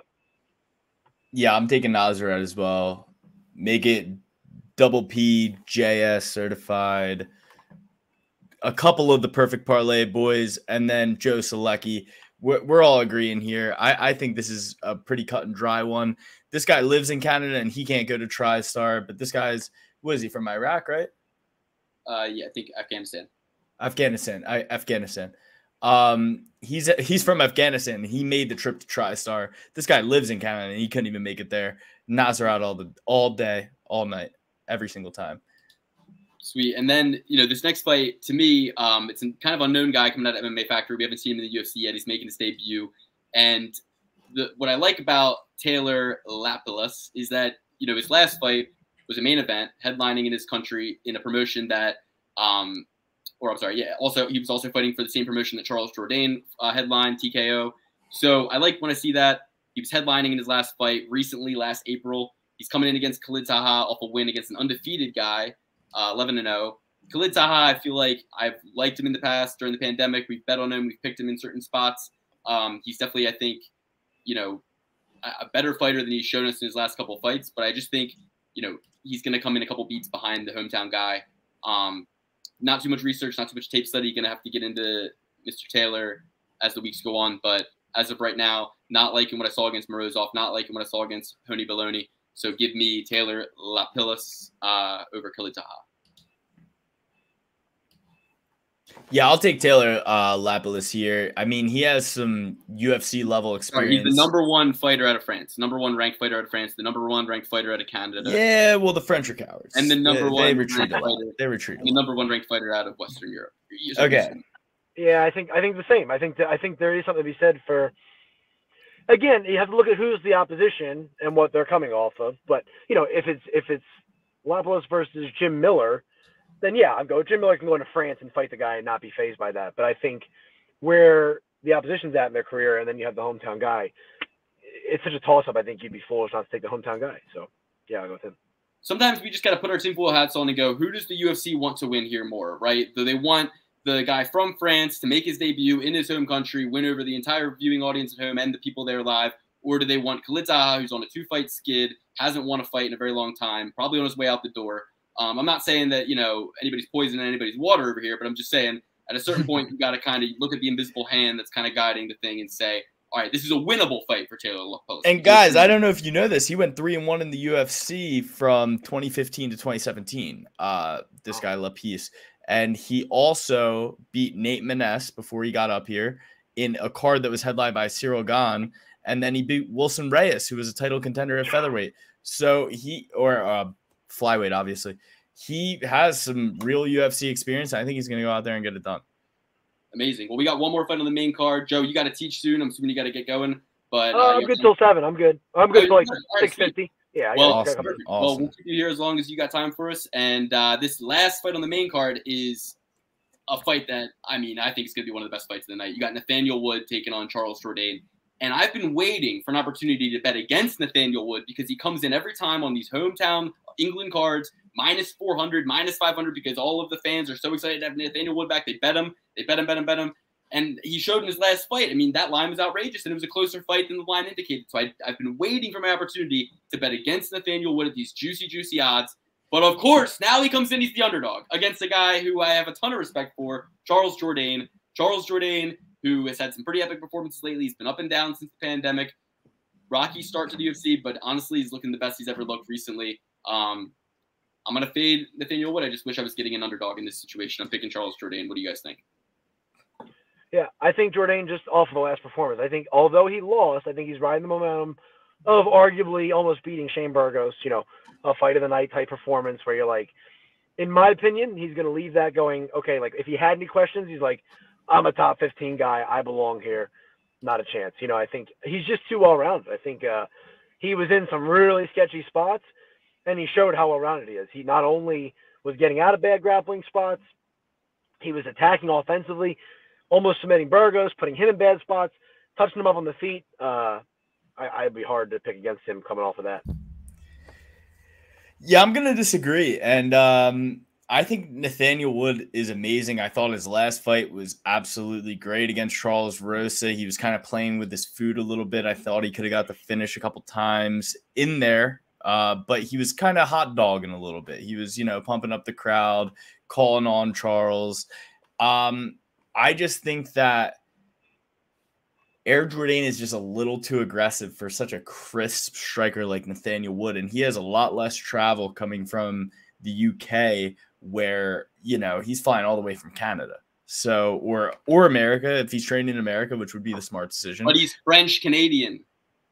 So he knows the language better. Okay, cool. So a little bit more- no, no. Charles Jourdain, I, I don't respect anybody who tries to steal uh, the clout of his airness, which is, you know, Michael Jordan, of course. You're not Air Jourdain. There's only one air, and that's Jordan, my man. And um, Charles Jourdain, Michael Jordan, he is not. So I'm I'm rolling with Nathaniel Wood here. I, I think he looked sensational in his last fight, and that he's going to carry this over. And I love taking him as a dog here. All right, yeah, it's going to be an exciting fight. Um, next, uh, headlining fight of the prelims. This is so hilarious because a couple weeks ago we had, um, I think it was uh, Yasmin versus Yasmin, right? And then you know last weekend we had Luke Rockhold versus Paulo Costa, the good-looking fighter gimmick. And I feel like whoever does the UFC matchmaker making, like they just have moments where they just laugh to themselves in their cubicle about like putting Zarah Fairn on the same card as Fares Ziam. I mean, their names are opposite. It's just you, you can't tell me that they didn't look at that and go, "Ha, we got Zarah Fairn on the same card as Fares Ziam." You can't tell me they didn't see that and go, "Oh, that's interesting." Yeah, they had to have. It has to be by design. I'm just I'm obsessed with it. But just to confuse everybody, we got Zarah Fairn, not Fares Ziam. We'll get to him later, but we got Zarah Fairn taking on Ailin Perez. Now, Ailin Perez, she's the number one or number three woman out of all of Latin America. She was on some show that I have to look into because if you look at her profile picture, she's got the blue hair, she's got the bikini, she's on the beach in Argentina, and Love Island. she was on a show called Samurai Fight House Four. Now this sounds, this sounds like uh, like you know some animation from Japan, if you ask me. Fight House Four sounds very interesting. I have to check, take a look, especially if this this beautiful woman was on there with other beautiful ladies. I'm assuming they had to fight it out to see who's going to win. I'm assuming this is like a reality show. Um, but she got a couple good wins, two wins by finish in Samurai Fight House, Samurai Fight House three, and Samurai Fight House four. She was also in Samurai Fight House one. Must have missed two. it doesn't seem like a reality TV show if they're numbered like that. Her only loss was actually at Samurai Fight House 2, and that was by illegal knees in the third round. So not even really a loss, kind of like in the sense that she didn't lose by by getting kneed. She lost, got her lost. She uh, Petr Yan. I mean, if we're gonna say Jon Jones is undefeated, let's just say Ailin Yeah. Perez is also undefeated. undefeated. So um, I'm picking her in this fight. You know, she's the number two woman out of Argentina. Um, her opponent, the main reason I'm picking her is because she's 27. Her opponent has not fought in, let's see, I have it written down. Sorry. Her opponent hasn't fought in a long time, uh, two and a half years, and she's 35. So we're coming in statistically, she's inactive and she's eight years older. That puts her in a, statistical win category of less than 35%. So just going with that off of two people I don't really know too much about, I'm going to go with the stats, the odds. I'm going to take Perez. Yeah, I think the timeout and the age that just sold me because I didn't. I'm like, okay, I'm just flipping a coin until you said that, and then uh, that that's just too much of a gap. I think. I mean, especially I mean, female fighting's tough like that. I mean, I think they're closer to the 55 and 45 and 70 pounders where it's like younger is better for the to an extent, and you know, you got to think is uh, it's a lot of time out. That's a lot of time out, and then Yeah. you got a young fighter with momentum. I think that's a that's an easy pick at that point. Long time out, home country. She's from France. She's in their packed house, and it doesn't get easier, as you probably know. I mean, luckily for you, the UFC's not putting any events on in North Carolina this anytime soon. Yeah. But it's like I'm sure you'd have a lot of people hitting you up for tickets. I'm sure you had a lot of people. Oh, people. 100 percent. DC Yeah. was like that. It was it was like a wedding. You got to keep track of who's sitting where and everything else. Which uh, I almost was on the Paris card, and or I was offered it, and uh, that would have been nice to not be near anybody that needed tickets. You're like, oh, I'm across the world. So Yeah, I mean, the only thing wrong with that is I just can only imagine the nightmare tax situation you would have to be in to do taxes, probably in Paris, in Paris, international. Yep. You know, I mean, I would be stuffing money in my shirt on the airplane. Just like Dana, just pay me in cash. I'll take it in cash. But anyway, um, all right. So this next one, I'm actually really interested. Uh, in. well, let me actually get my pick first. Uh, I will also take Perez. She's way younger. No slouch. Zarah Fairn. Um, she lost to Felicia Spencer. One of the girls that I or women that I respect in this division more than anybody. Megan Anderson. She was pretty tough for a while. Um, but if you look at her Tapology, she pulled out, or no, she missed weight against the outlaw Josie Nunes which is my favorite women's fighter right now. And then uh, withdrew from Jocelyn Edwards. I think she's out of the frying pan into the fire now, and she'll she'll pay. All right. Um, next, we got a fight at lightweight. So really interested to get Joe's perspective on this one. Um, Benoit Saint Denis versus Gabriel Miranda. Gabriel Miranda making his debut, I believe. I thought he was actually. Um, that was my first instinct. Yeah, he, yeah, he, he is making his debut, and uh, uh, Saint Denis will remember as the guy who was in that fight with that ref. That you know, we all everybody thought the fight should have been stopped because apparently we're all a bunch of babies. But um, you know, Benoit Saint Denis, he's like a special forces agent out of France. He's nine and one with that lone loss coming from that one fight that in question in the UFC where he took a Elizeu Z- Zaleski. yeah, yeah, took a beating against Lesky, but didn't go down. Fought valiantly, uh, made it out, and got a rebound win. Knew I was going to pick him in his rebound fight, and I'm going to pick him here. I mean, he's he's taken on a debutante in Gabriel Miranda. We know debutantes lose at a 65% rate, um, and I think in his home country, you're telling me you're going to. This is like Tim Kennedy in Texas. Benoit Saint Denis in France is like Tim Kennedy in Texas. You know what I mean? Like he's gonna have he's gonna be uh, overpowered here. You know. This will have to I- I be my like last that. one, guys. Uh, Perfect. Perfect but- end on. Couple of so like, I was I was offered uh, Saint Denis actually, um, but so I'm, I'm picking him because I think he I, I think he's a specialist. I think he's really difficult on the ground like that. I think, like you said, debutante in uh, hometown is going to be even even worse than the standard losing rate of uh, somebody making their debut. But uh, he's a tough fighter, man. He's a very good specialist, good grappler, uh, and I think he's going to win. But I would have liked to have been the one fighting him. That's for sure. That's the fight you were offered for this card for Paris. Wow. so Yeah, how, what yeah. what's it was- Was it on their end? I was I was hurt. That's uh so my manager asked when I thought I would want to fight again, and I was like, you know, my ribs were really really bad at that last fight. And I was training, but I was all drugged up on like uh I had to get a Toradol shot just to do that stupid grappling tournament, and then uh I was on prednisone, all this stuff, and then it came off, and it was hurting again, and I'd have a good day, and then three bad days, and yada yada yada. Who cares? But um. So I was like, okay, like November, I think would be would be a safe bet. He's like, all right, I'll tell him. And then like three days later, he's like, hey, how does September third in Paris sound? I'm like, it doesn't sound like November. Uh, and I was like, I wanted to do it because you know the thing is like I like the idea of fighting. Like I said, like like for a lot of like the debut guy, it's going to be an uphill battle. But I thought like going to Paris and fighting the hometown favorite, awesome. Uh, like check it off the bucket list type thing. I love the matchup because he's a grappler. And then uh, yeah, and then I was like, oh man, like there's no way there's any other scenario where I'll be able to take my wife to Paris. and go to Florida. so uh, I had to tell her, and she was not happy about it either. So uh, we're holding out for something in, in October, November, just because I couldn't I couldn't put together a training camp. There was no way. But what sucks is now I wouldn't have been able to make it through a training camp, but now I'm 100% feeling awesome, and I'm like, I probably could have fought this weekend, you know, but uh, I wouldn't have made it through a training camp. So yeah, that was the fight. Damn, Joe, dude, you got a pair of big brass balls on you to go into this guy's enemy territory. I mean, like we, we might as well have just declared war against Paris and just sent you over there. What- dude, it was the Rocky scenario, man. I grew up on too many movies. I was like, dude, this is perfect, but not meant to be. Some other time, I guess.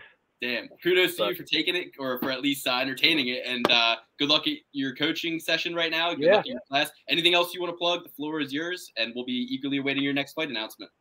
Yeah, no, I just appreciate you guys, man. Thanks for having me on. Thank you for supporting the event. Uh, seriously, if you want to do that match on All In Two, that would be awesome. Uh, 100%. Joe, I'll I'm ready. Any date place, as we have anytime, anywhere. as soon as I get a fight date, we'll have a date for the second event. But uh, that's pretty much it. I hope you guys uh hope you guys come down. That'd be awesome. So Oh, yeah. yeah, thanks for having me on, guys. I appreciate it. Talk Heck soon. yeah, thanks, Later. Joe. See you guys. Appreciate you coming on.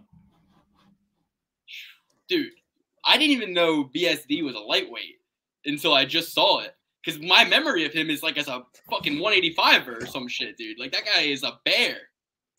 Wait, or so we're not going on to the Patreon today? No, we're just running straight through. Because I- I, re- I really have to take a, a ootsie ootsie, a, a tinky winky, so to say. All right. Well, Could, could you take us through the next one? I think it's uh Joaquin Buckley versus Nassourdine who'd you pick? You picked BSD, right? Oh yeah, I, I guess I didn't get my pick off. Yeah, I'm taking BSD for sure. No doubt, no doubt, dude. He, it's special forces. They're gonna How is this guy younger than Joe too? He looks like he's like uh, when I, my memory of this guy. war torn, and and and you know they say war torn fighters. this is a war torn man. Like he has been through wars. So like you know what I mean. Yeah. I mean Joe absolutely smothers him, but besides I the point, Benoit Denise. better based on the Zaleski fight. huh? I think Joe's hands are better based on the uh the Zaleski fight. Oh yeah. Oh yeah. You know? But Oh, he did yeah. fuck, he did fuck up Niklas Stolze though. But listen, I'm literally about to urinate my pants. I need I need a break. gonna- An an hour is a long time. Yo, I got some stuff I can talk about. So everybody, thank you for watching. Obviously, we usually do the prelims on the Patreon, patreon.com slash perfect parlay pursuit. Um, but today, Dan, the bet man, is at a wedding in Spain in Madrid. So he's on Spain time. He's over there with his lady flying home tonight. So he couldn't be here. Um, but normally how we do it is main card on the YouTube channel. That's free. We move over to the Patreon, patreon.com slash perfect pursuit. We do the prelims there. And the incentive to do that really is just if you love the show, then you want the prelims, then you support the show. You support the show. It's just for extra content. It's just to help give us some money so we can do fun things like sponsor Joe Solecki's events, like donate to the refugees, the boxing kids. You know what I'm talking about. So we have the Patreon as a, just a mechanism of giving us money. Not, we're not selling T-shirts right now. We're not selling mugs. We're just if you want to help us, ten bucks a month gives it, it funds the show. It funds the show. And you know, there's three of us. It's ten bucks. We're all gambling here. Ten dollars is the absolute minimum I would ever bet on anything. So it's like if I have money to gamble, I have money extra, go ahead. You support the show. It really helps us just kind of track what we can do with the show over time, having all these Patreons. So we're approaching 50. I think we're about five away. And when we get there, the match is on, guys. We're going to use that money to get me, Alex, and Dan down to North Carolina. We're going to apparently in front of a live audience have Alex and Dan wrestle. Um, and I mean, I got to find something for me to do because this is I can't let the boys have all the fun. I gotta get I gotta get my hands dirty. If Chase Hooper is in North Carolina in January, then you know bare knuckle box me in the parking lot. Chase, let's go. We'll we'll, we'll get we'll get a separate event going outside.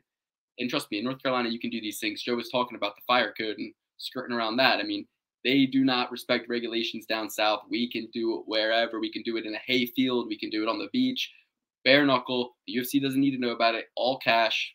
Okay. Obviously, just kidding. I think that's like a felony to even offer that. But moving on. These are jokes.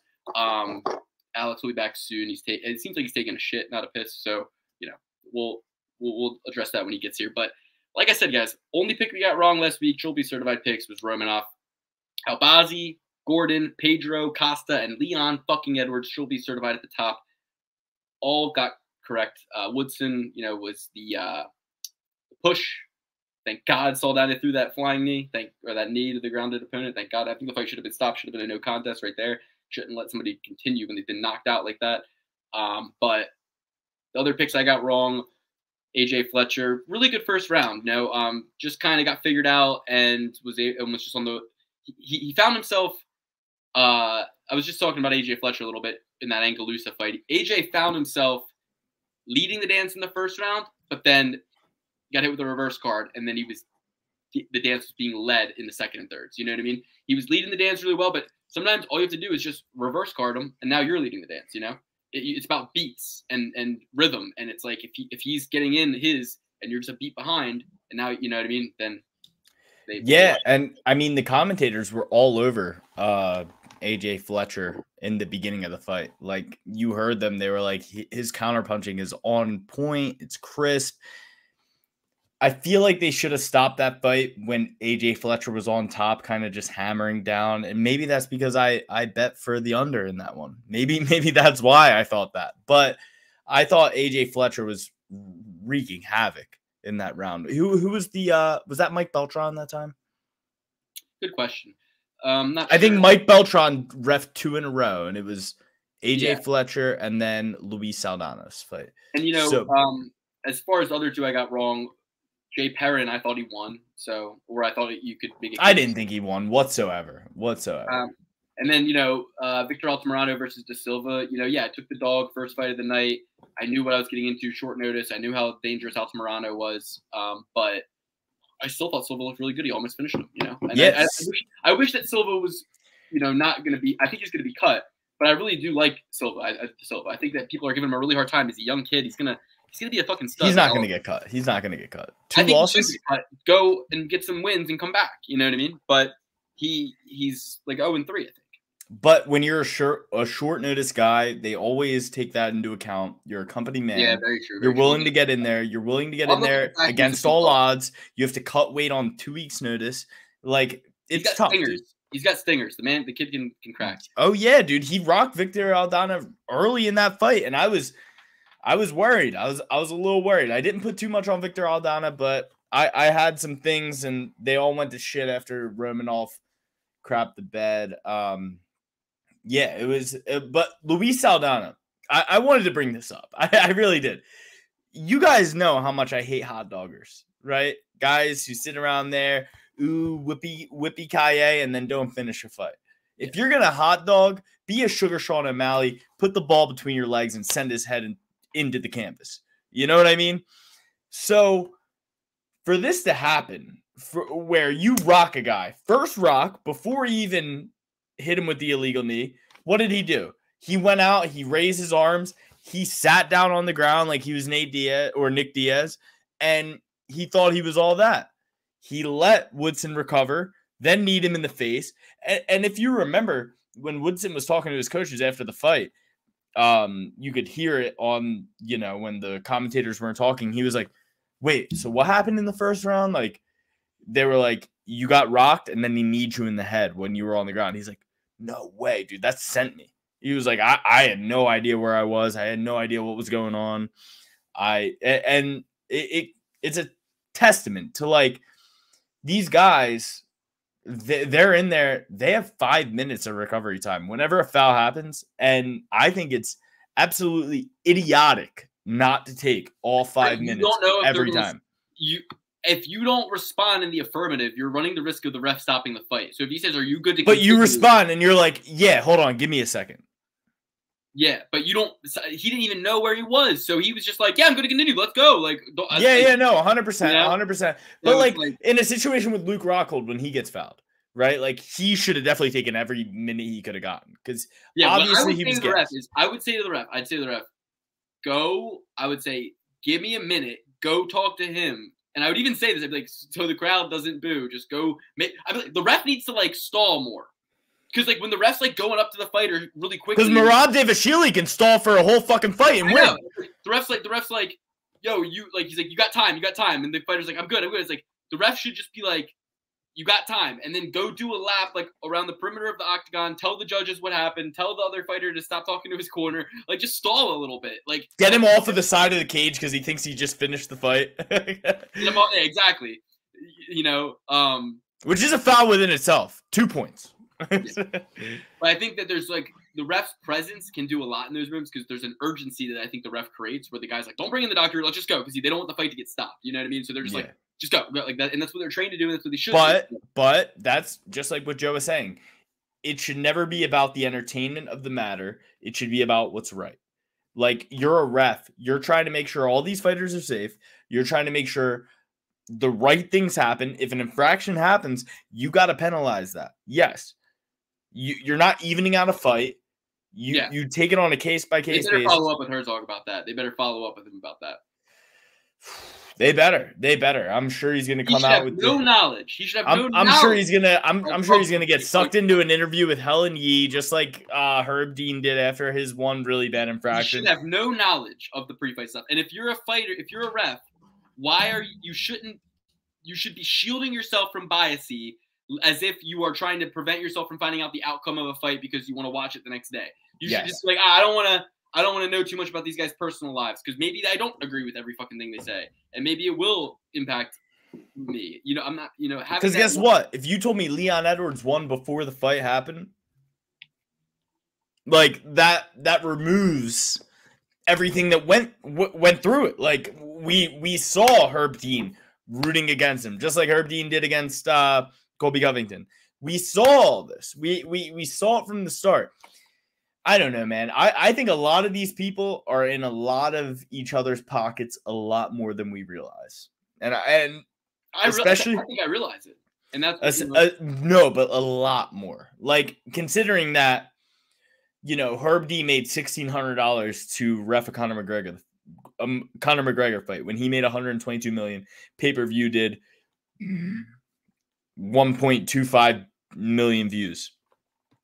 Purchases, not just views. Um, okay, but it's like Yeah, But- and, and and the guy playing guitar in the band that's behind Beyonce probably gets fifteen hundred bucks too. You know what I mean? It's like yeah, sometimes No, but that that's what I'm saying. So it's a lot easier for somebody like, you know, an Ali Abdelaziz, a paradigm um employee to be like, hey, I'm going to literally triple your pay in one night if Yeah. you just like, you know, see things a certain way. And you know, I'll have my it's- it's cousin a- it's I'll have my cousin wire you the money who people don't even know we're cousins. It's probably like an unspoken type of thing, where it's just like Because still to this day, people don't even know Luke and I are brothers.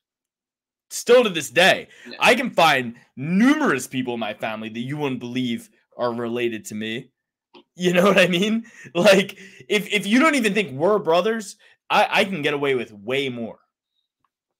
Well, yeah, I think you're onto something, but it's just it, it's like I said about the fight. It's like who do the, who do the who do they want to win this weekend more, Gabriel Miranda or Bene, uh, or uh, or BSD, right? And I'm not. And listen, it's not 100. percent It's not 100, percent but nothing is. It's gambling. We're trying to look for our edges. We're trying to look for our edges, and we don't want to be sitting there going, "Oh yeah, that was stupid." The special, of course, the French special forces guy won in Paris against a guy we've never heard of before because they can just dust anybody off from the fucking regional scene. It's like having a stocked pond. Like and there's a stock pond within the UFC too, guys. There's a stock pond within the UFC. GSP told it on the Joe Rogan podcast. He said that he went in and he watched at a very low, a very high frame rate, all of his, all of his uh, opponents' film to study how quick their reaction time was and where the openings would be. And he said out of all of them, BJ Penn had the fastest reaction time, the fastest reflexes. Um, but that, but that being said, it's like yeah. So you think Dana White and all the other high executives in the UFC don't have all the same footage, and they don't sit back on their Tuesday meeting and go, is that and, and calculate the probability of one fighter winning and and determining what matchups are more favorable for certain people. I'm not saying it's 100% avoidable at all times. I'm just saying that like the writing is on the wall sometimes. Yeah, absolutely, absolutely. And if you don't think so, Harry Hunsucker fought Tyson Pedro fucking last Saturday. So if you Harry- don't think so, then there you go. Tyson Pedro has been like a minus Pedro- seven hundred favorite in his last five fights. And he comes out and he says, "I'm going to give Harry Hunsucker ten thousand dollars because it's probably going to be his last fight in the UFC. So I'm going to give him ten grand. I'm going to give him my, a part of my win bonus." And and it's like, you realize how bad What a great guy! right? What a great guy! It sounds like he fucking paid him to take a dive. Because it's like, oh, I wouldn't have gotten paid from his win bonus if he didn't win. So I guess I got to let him. No, you know? but he also saw three Aussies knock him out right before him, so he's like, "Oh, I got this cake, yeah, cake money." I would be like, keep your fucking money. I'm not. I'm not some rented stripper for you Aussies. All right. Yeah, I'm going to go to BKFC now, and, and I'll, I'll make a million dollars. something else important to notice is that uh, Christos Giagos was the original opponent for Benoit Saint Denis. So, um, you know, maybe I'm a little bit uh, heavy-handed with my attack. They were going to give him a guy with ten losses. So, Chris Sorry. Giagos, who's had five straight losses, four straight losses. the, their original their original intention was to give him a guy coming off back-to-back first-round finishes with ten losses. Sorry, they were giving him a good opponent. Nah, sorry, the original intention was to give him Joe Solecki. So, Yeah, true. True. Maybe- Joe Solecki would have ruined his whole. no, no, I think whole- actually I think Joe was probably to replace Giagos. Maybe I don't know. I don't no, know. no, no, no, no. They they they offered it to him before that. That's what he said, I believe. dude, it's so funny because without us knowing that Joe was offered that fight, we're sitting there, we're going, it's a special forces guy in his hometown. You'd have to be crazy to fucking fight this guy. The UFC clearly wants him to win right here. Joe's like, yeah, they offered me that fight. I'm like, oh shit. Ah, dude. But no one's better than Joe Solecki. No one. No one. Like he comes on the show. Gabriel Miranda's and Christos Giagos. But as Joe Solecki's informal manager, I'd like to get him in there against Christos Giagos and Gabriel Miranda. You know, Because what? He ain't getting baby. It, the check, the check's going clear either way. you know what I'm saying? amen. Amen. Amen. And, and you're on that contract until, you know, you're done. Uh, until you get a knockout like Jorge Masvidal and you're like, we're renegotiating. we're not we're not going for the same shit we were going for before.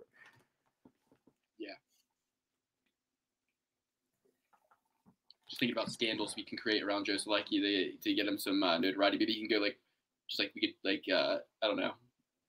I'm thinking of like the, the Dolly uh, against the bus incident. I'm thinking of Masvidal backstage with Edwards. I'm thinking of Masvidal running up on Colby Covington. I'm just thinking of all these all these clips of like different. We need to coax. Dan into trying to fight him when we go to All In. After after he loses and Joe Solecki refs, we gotta like coax Dan into like trying to fight him afterwards. Yeah, because those Kevin Holland videos go super viral about like uh, Kevin Holland beats up a guy who uh, who Dan tries to fight a little girl at All In grappling tournament, and then Joe Joe Solecki Solecki stops like.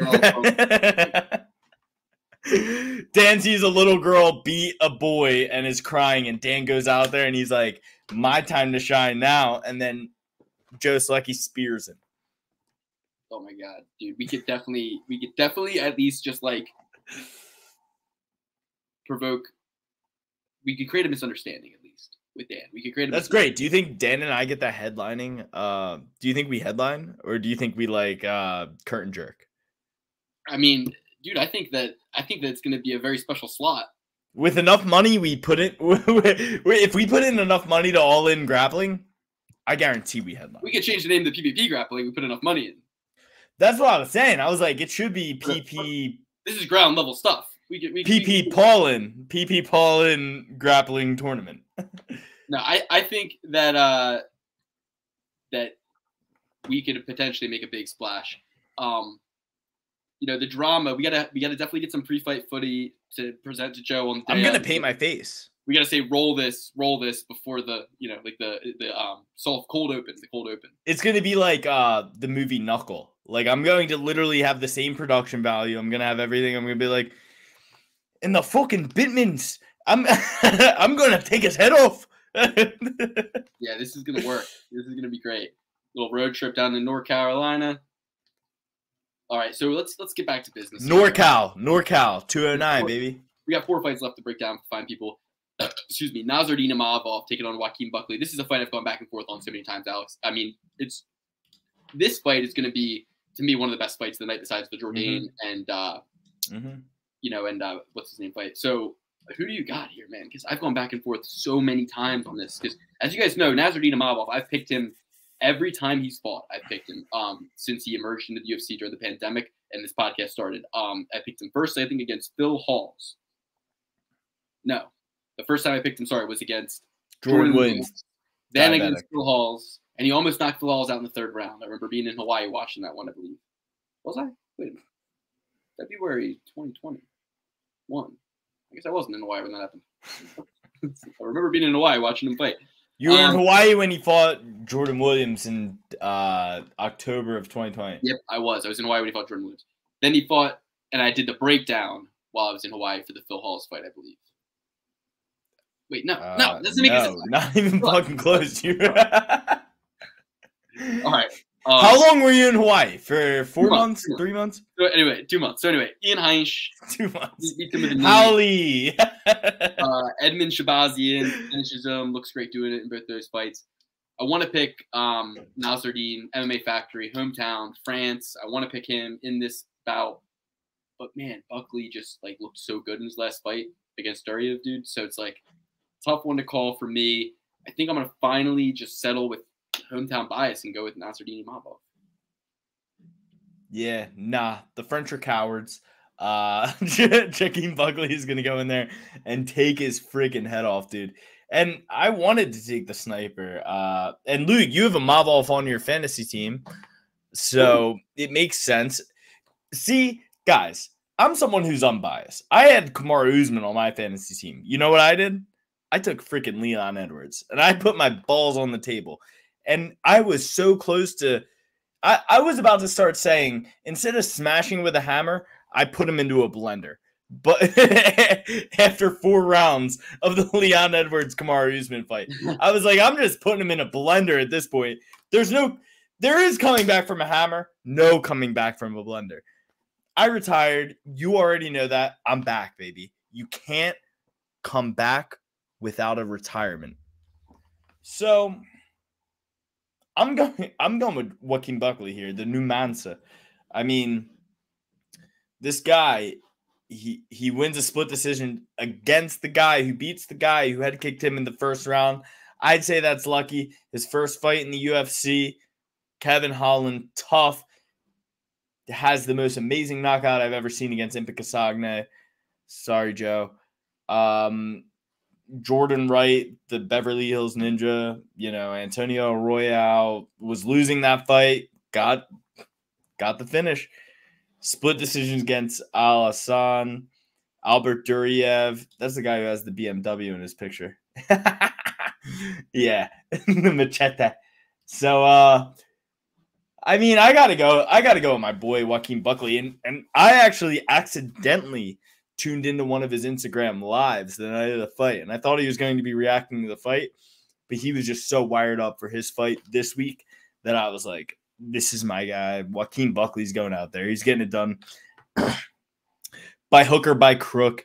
He is going to go out there and probably put this man in a stretcher. He's a dog, and it's like, dude, he really could get that win as a dog. I mean, I went back and forth on it so many times. Um, is what it is. I'm still waiting for this Joaquin Buckley back kick, you know, uh, remembrance money to come in on him. Like, why is he an underdog right here? Why can't I get my boy Nassourdine at the underdog odds? Instead, I got to pay underdog odds for Buckley, who's supposed to be the most famous guy with that viral clip. It's like, wh- where's the casual money coming in on Buckley? Joaquin Buckley has the frame, the size, and everything, even without the grappling ability, to get Nassourdine down. Like Nassourdine has not necessarily faced the best grapplers in the world. His last fight was against Edmen Shahbazyan. Then he had Ian Heinisch. He lost to Phil Hawes, a great grappler. Won against Jordan Williams. Saul stalled him against the cage the whole fucking time. He didn't even get him down. Well, you know, some would say uh, somebody did the same thing to Jose Aldo last weekend, and Jose Aldo won a round and still had 330 27 shouted his way. Dude, So- I think Nassourdine could wipe fucking Buckley's nose. His striking can't be that much improved since the Holland fight. It can't be that much improved since the D. Chicarico knockout. he was a short notice replacement on the We're Holland talking fight. about the sniper over here. The sniper's gonna snipe. He was a short notice replacement on the Holland fight. What about the Chicarico head kick? Chicarico head kick, he got caught. Well, I'm just saying. Anybody can get caught. You just saw Kamaru Usman. Dude, Nassourdine beats both those guys. To be honest with you, Nassourdine beats Kevin Holland. Nassourdine beats beats. uh He does not beat Kevin, Kevin Holland. I think he does. I think he fucks Kevin Holland up. How about that? Well, he doesn't because Kevin He Holland's fucks now Kevin Holland up. 170 here. Kevin's on 170 here. So exactly. He had to go running. yeah, and if you saw the way Gronk put him out on the Gronk stream the other night, Yeah, dude. The Gronk stream. I heard Dana White was saying that Brady almost went to the Raiders, but we don't got time for that because we got. we fight. literally do because in fact we are like we have three fights left and we usually do like a couple and a Yeah, half we're, hours. actually, we're actually making great time. Yeah, like like it's it's seven seventeen. I have my whole night ahead. Well, this next one is interesting though. Ricardo Ramos versus Danny Henry, 145 pound bout, 16 and 4. Ricardo Ramos versus 12 and 4 Danny Henry. Um, again, you know, my notes, I just go back to the notes and I have here that Danny Henry is seven years older and hasn't fought in two years. And if you count them up, I mean, you look at, you just take a look, right? Um, you, you just look at, uh, first you got, uh, shit. Get You get a guy training out of Nasrat Haqparast. Alpha Male. All right. Are My, my notes are all fucked up in this. I gotta delete these. Notes. Okay, so why don't you let me take this away? You know, the only Scott that I really like to take um, is Paul Craig, and it has been to my demise in the past. This guy is two and two in the UFC on a two fight losing streak. Sure, it was to Dan Ige. Sure, it was to Makwan Amirkhani. I think Ricardo Ramos has enough game to get this guy away. He's good striking.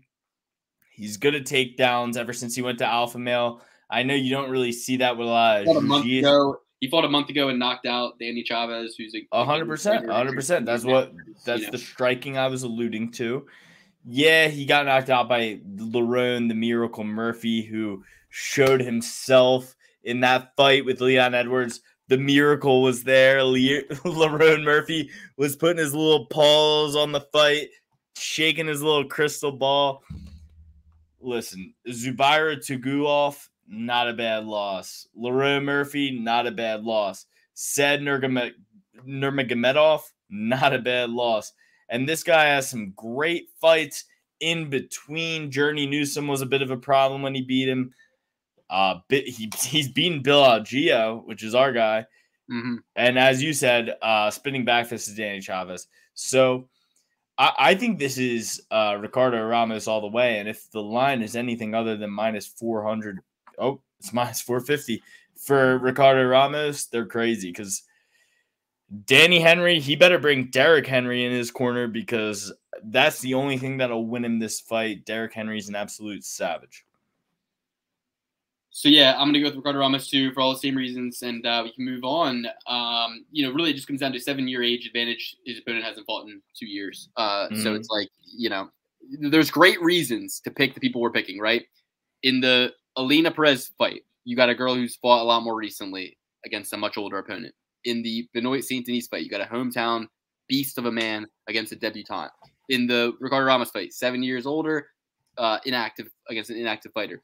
In the uh, Taylor Lapilus fight. You got a hometown guy on a win streak, just headlined a fight, fought very recently, facing a guy on a losing streak. The Nazarat fight, much older fighter taking on a guy on a losing streak who's a lot older.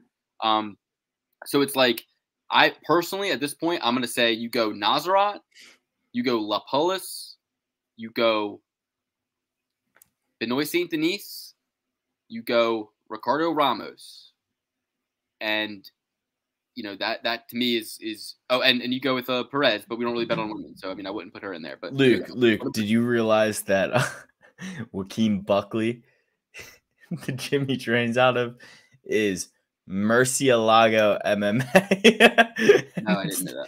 and it's the shape of an NFL sign with the stars, and it says Murcielago MMA. I don't see what's so funny about that. It's pretty cool if you ask me. It's like we love Lamborghinis, we love the NFL, we love fighting. So join our gym. Three cool things like they are the coolest things, but it's like just so weird to see them all integrated. I'll, I'll I'll leave your invitation to the Lambo football party out of here. Then I guess Alex like no, invite me to the Lambo football mixed martial arts event every single time. If it's just Lambo and football, I don't want to be there. But if it's Lambo, MMA, and football, you can count me in every single time. Well, listen. Uh, here's what I'll count on: another lightweight matchup, second fight on the card. Fares Ziam. Don't be confused. I know, I know. We already went over Zaraf Farayam earlier, but don't be confused. Fares Ziam, 12 and 4, taking on Michael Figlak, 8 and 0. Now, to me, this one stood out to me, so I went and I looked at Michael Figlak, uh, his previous fights, because he headlined a couple and he had some good wins. So I went and I checked his fight out. I loved what I saw in his fight against uh, Steve McIntosh. He fought Steve McIntosh. I watched that fight, and uh, I believe that's Steve right. Jobs? No, no, no. Okay, okay, just making no. Um, I watched that fight. It was a Cage Warriors fight, and um, He beat up a dead man. Cool. no, he, he beat up Steve McIntosh, and it was great because Steve McIntosh was seven and one at the time, um, and he was taller, kind of like Fares Ziam's going to be. And I love the pressure that I saw from uh, Michael Figlak. He was pushing the pace forward. He took them to the ground. He got on top, stayed in guard, controlled him a little bit. Ultimately, won the decision, and I liked it. So, um, yeah, I like the strength of schedule he has coming out of Cage Wars into the UFC. I know he's a debutante, but I'm going with Figlak here because for as I am, I believe he can get taken down and held down here, and I even think that he will get out pressured and out volumed um, on the feet. So, Smile Killer going down, good decision win against you know couple tough guys, Mullarkey, Vendor, Amini. Um, but I think that Terrence McKinney showed us how easy it could be to beat to beat Ziam. You know, um, I think this guy takes him down. I think he controls him, and I think he wins a decision. Michael Figlak by decision. Possibly by submission and ground and pound, though. I mean, like, it depends, it depends, you know, it really depends. But he's mad dog, Mike Figlak, and he's training at a Trojan Free Fighters. And all I know about Trojan Hey, Free, hey, hey, hey, hey. You showed me a mad dog, and are, you're talking about Trojans. I'm more of a raw dog guy I myself. know, no. The, you miss, you stepped all over my punchline because it was Trojan Free, and that means no Trojan without Trojan. So that does mean raw dog. That's his gym's name, Trojan Trojan Free Fighters. Okay, fair enough. So, fair enough. Trojan us Free. your pick on this one. I'm gonna use bathroom. All right, I don't know if if I can elaborate on enough to go past Luke's bathroom break, but uh, I mean, everything in me is thinking Fares, uh, Ziam, but then I look at Michael or Makai's, um, no, Michael, Michael, Michael the Mad Dog. I look at his former fights and he's fought Jack Shore. He actually fought Jack Shore in 2015 as an amateur. And I think that's a far better opponent than the Smile Killer has had. Although he did beat, I mean, man, Jamie Mullarkey is nothing to. Man, this is a very tough fight for me, as the first two fights usually are. Um, I told you I watched tape on the guy, dude. Should be hard.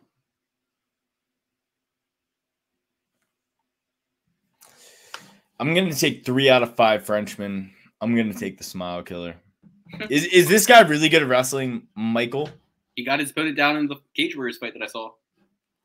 But who's Aji Sariadi?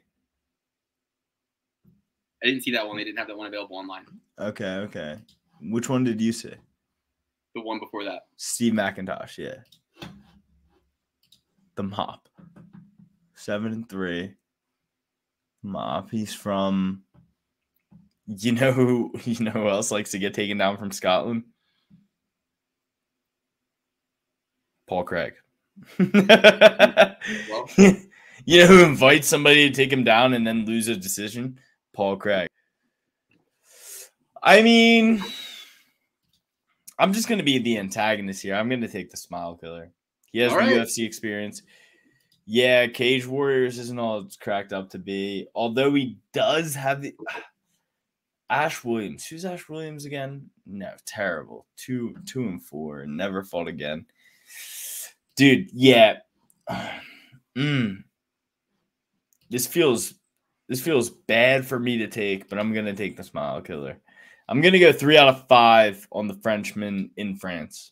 All right. Well, next we got Dustin Stoltzfus taking on Abusupiyan Magomedov. Now listen, Dustin Stoltzfus, we know how he loses, right? Like he gets those little skinny pipe cleaner legs lifted up and put down, and he gets on the ground, dominated, and sometimes choked out even. And he lost his last couple fights by getting choked out. He lost his fight to Gerald Meerschaert, I believe, right? Um, yeah, third round submission. Lost his fight against Rafael de Vieira, old man, in the third round submission.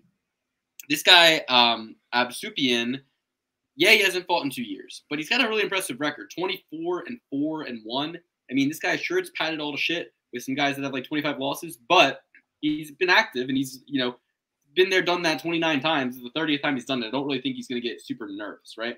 So not worried about Do you that. recognize a single name on his on his resume? No, I don't really recognize a single name. Except for Unless- Louis put the guns down Taylor. Was put the guns down Taylor, who was like 43 Knocked him old out. And out. So that does me cause to pause. But I don't know. I mean, this one should be easy, right? It should be just like Dustin Stoltzfus all day. He's got UFC experience. He has fought more recently. Fought two weeks ago. That doesn't seem like possible. He fought two weeks ago. That was Dwight Grant. Like how fucking much difference a day makes, right? It's like holy shit. Like that was that doesn't feel like that recently, but um.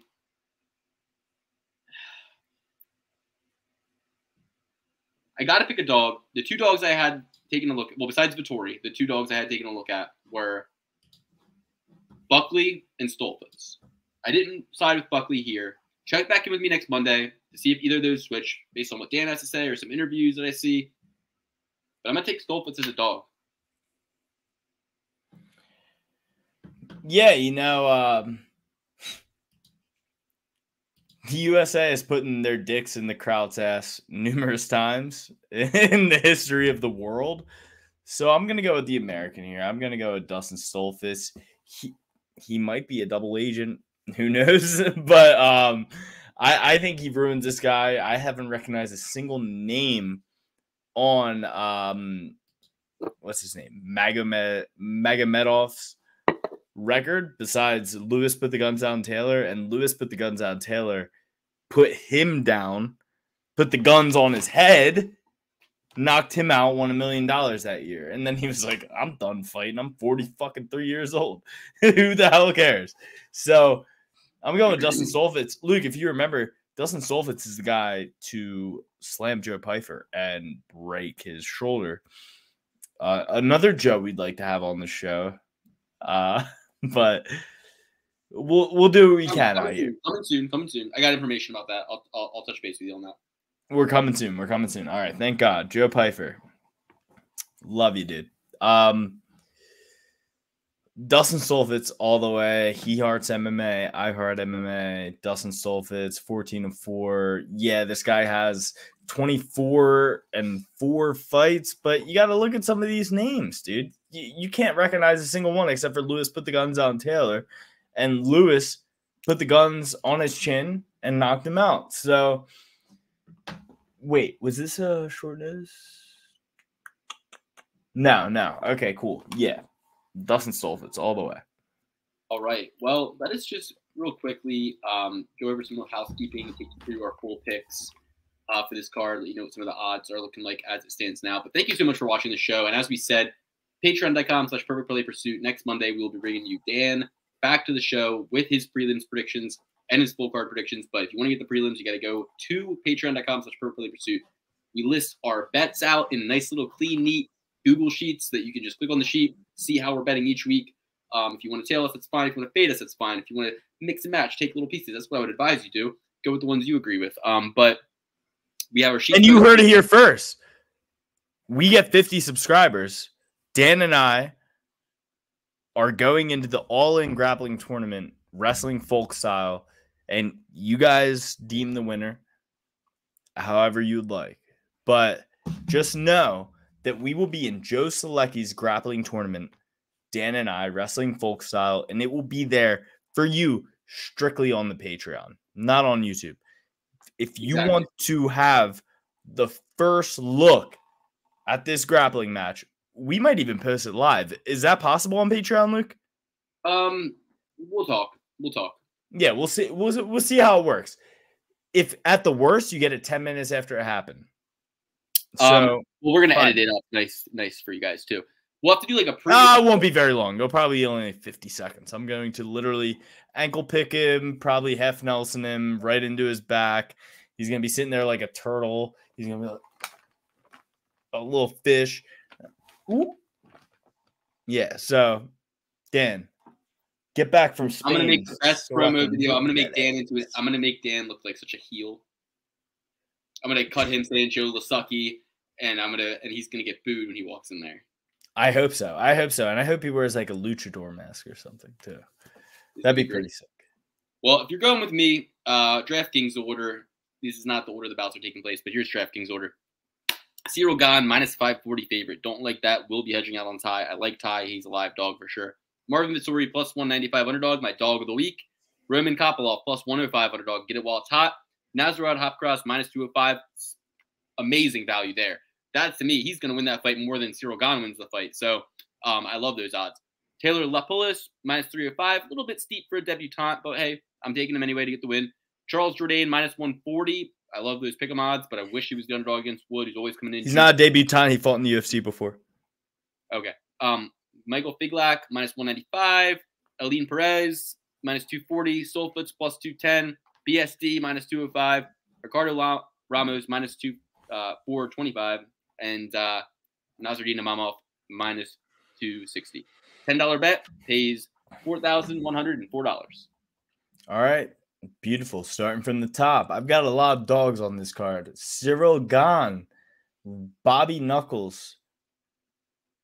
Did I take that? You took Chico. Yeah, Bobby Knuckles, Bobby Knuckles, Alessio Di Giorgio, Nasrat Haqparast, Taylor Lapilus, Nathaniel Wood, uh, Ailin Perez, Benoit Saint Denis, Joaquin Buckley, Ricardo Ramos, Fares Ziam, and then Dustin Stoltzfus. I have more dogs than I would like to admit on this one. I have one dog in Nathaniel Wood two dogs in Fares Ziam, three dogs in Joaquin Buckley, and four dogs in Dustin Stoltzfus, floating right around that three to five average that is on each card. Um, so, you know, now that I think about it, I'm not very upset about it, but hopefully some of these fights fall off and make it a little bit easier for us next week. I mean, I don't hope that, but anyway, um, that you know, it's only 12 fights. We can get through this. Dustin Stoltzfus is going to be the lone dog Alex and I agree on. Seven picks in total that me and Alex both agree on. And as you know, if we both agree, that puts it in the 64% win category. So Ricardo Ramos, Benoit St. Denis, Dustin Stoltzfus, Ailin Perez, Taylor Lapilus, Nasrat Haqparast, and Cyril Gane are the ones we have double beat certified. And uh, yeah, thank you so much for joining us. Patreon.com slash pursuit. We, as always, will uh, be here for you. And, you know, we didn't want to leave you high and dry on the break week. We hope you guys enjoyed the bonus content in this episode. Wanted to make it a super big mega episode. If you want to support the show and help us do things like support Joe's grappling event or donate or, you know, plan trips like the one down North Carolina to watch Alex and Dan fight it out, then, uh, then that's how you do it. You support the boys. You see how much bigger I am than these fellas, dude. You see it. Dan, You Dan see- is like 50 pounds on you, bro. he's got 50 pounds on me, but I got 50 pounds of muscle on him. Well, thank you all for watching. As always, UFC Paris, I can't wait. I do not want this break week, but I had to give you guys the content. Let us know how you feel in the Discord. Keep active and uh, enjoy the fights as always. Man, I'm gonna miss you guys. I hate not doing the show, so this really sucks. But we got to do. what We got to do. We got to take a little break. We Gotta take a little break. A little break. We're, we're here this week. We're gonna be here next week. What are you talking about? We haven't taken I'm, any. I'm watching UFC again. Oh, okay. I was about to say we're not we're not leaving you guys ever. Okay, until I quit the podcast to find bigger and better things. But besides that. We love you. Rock and roll.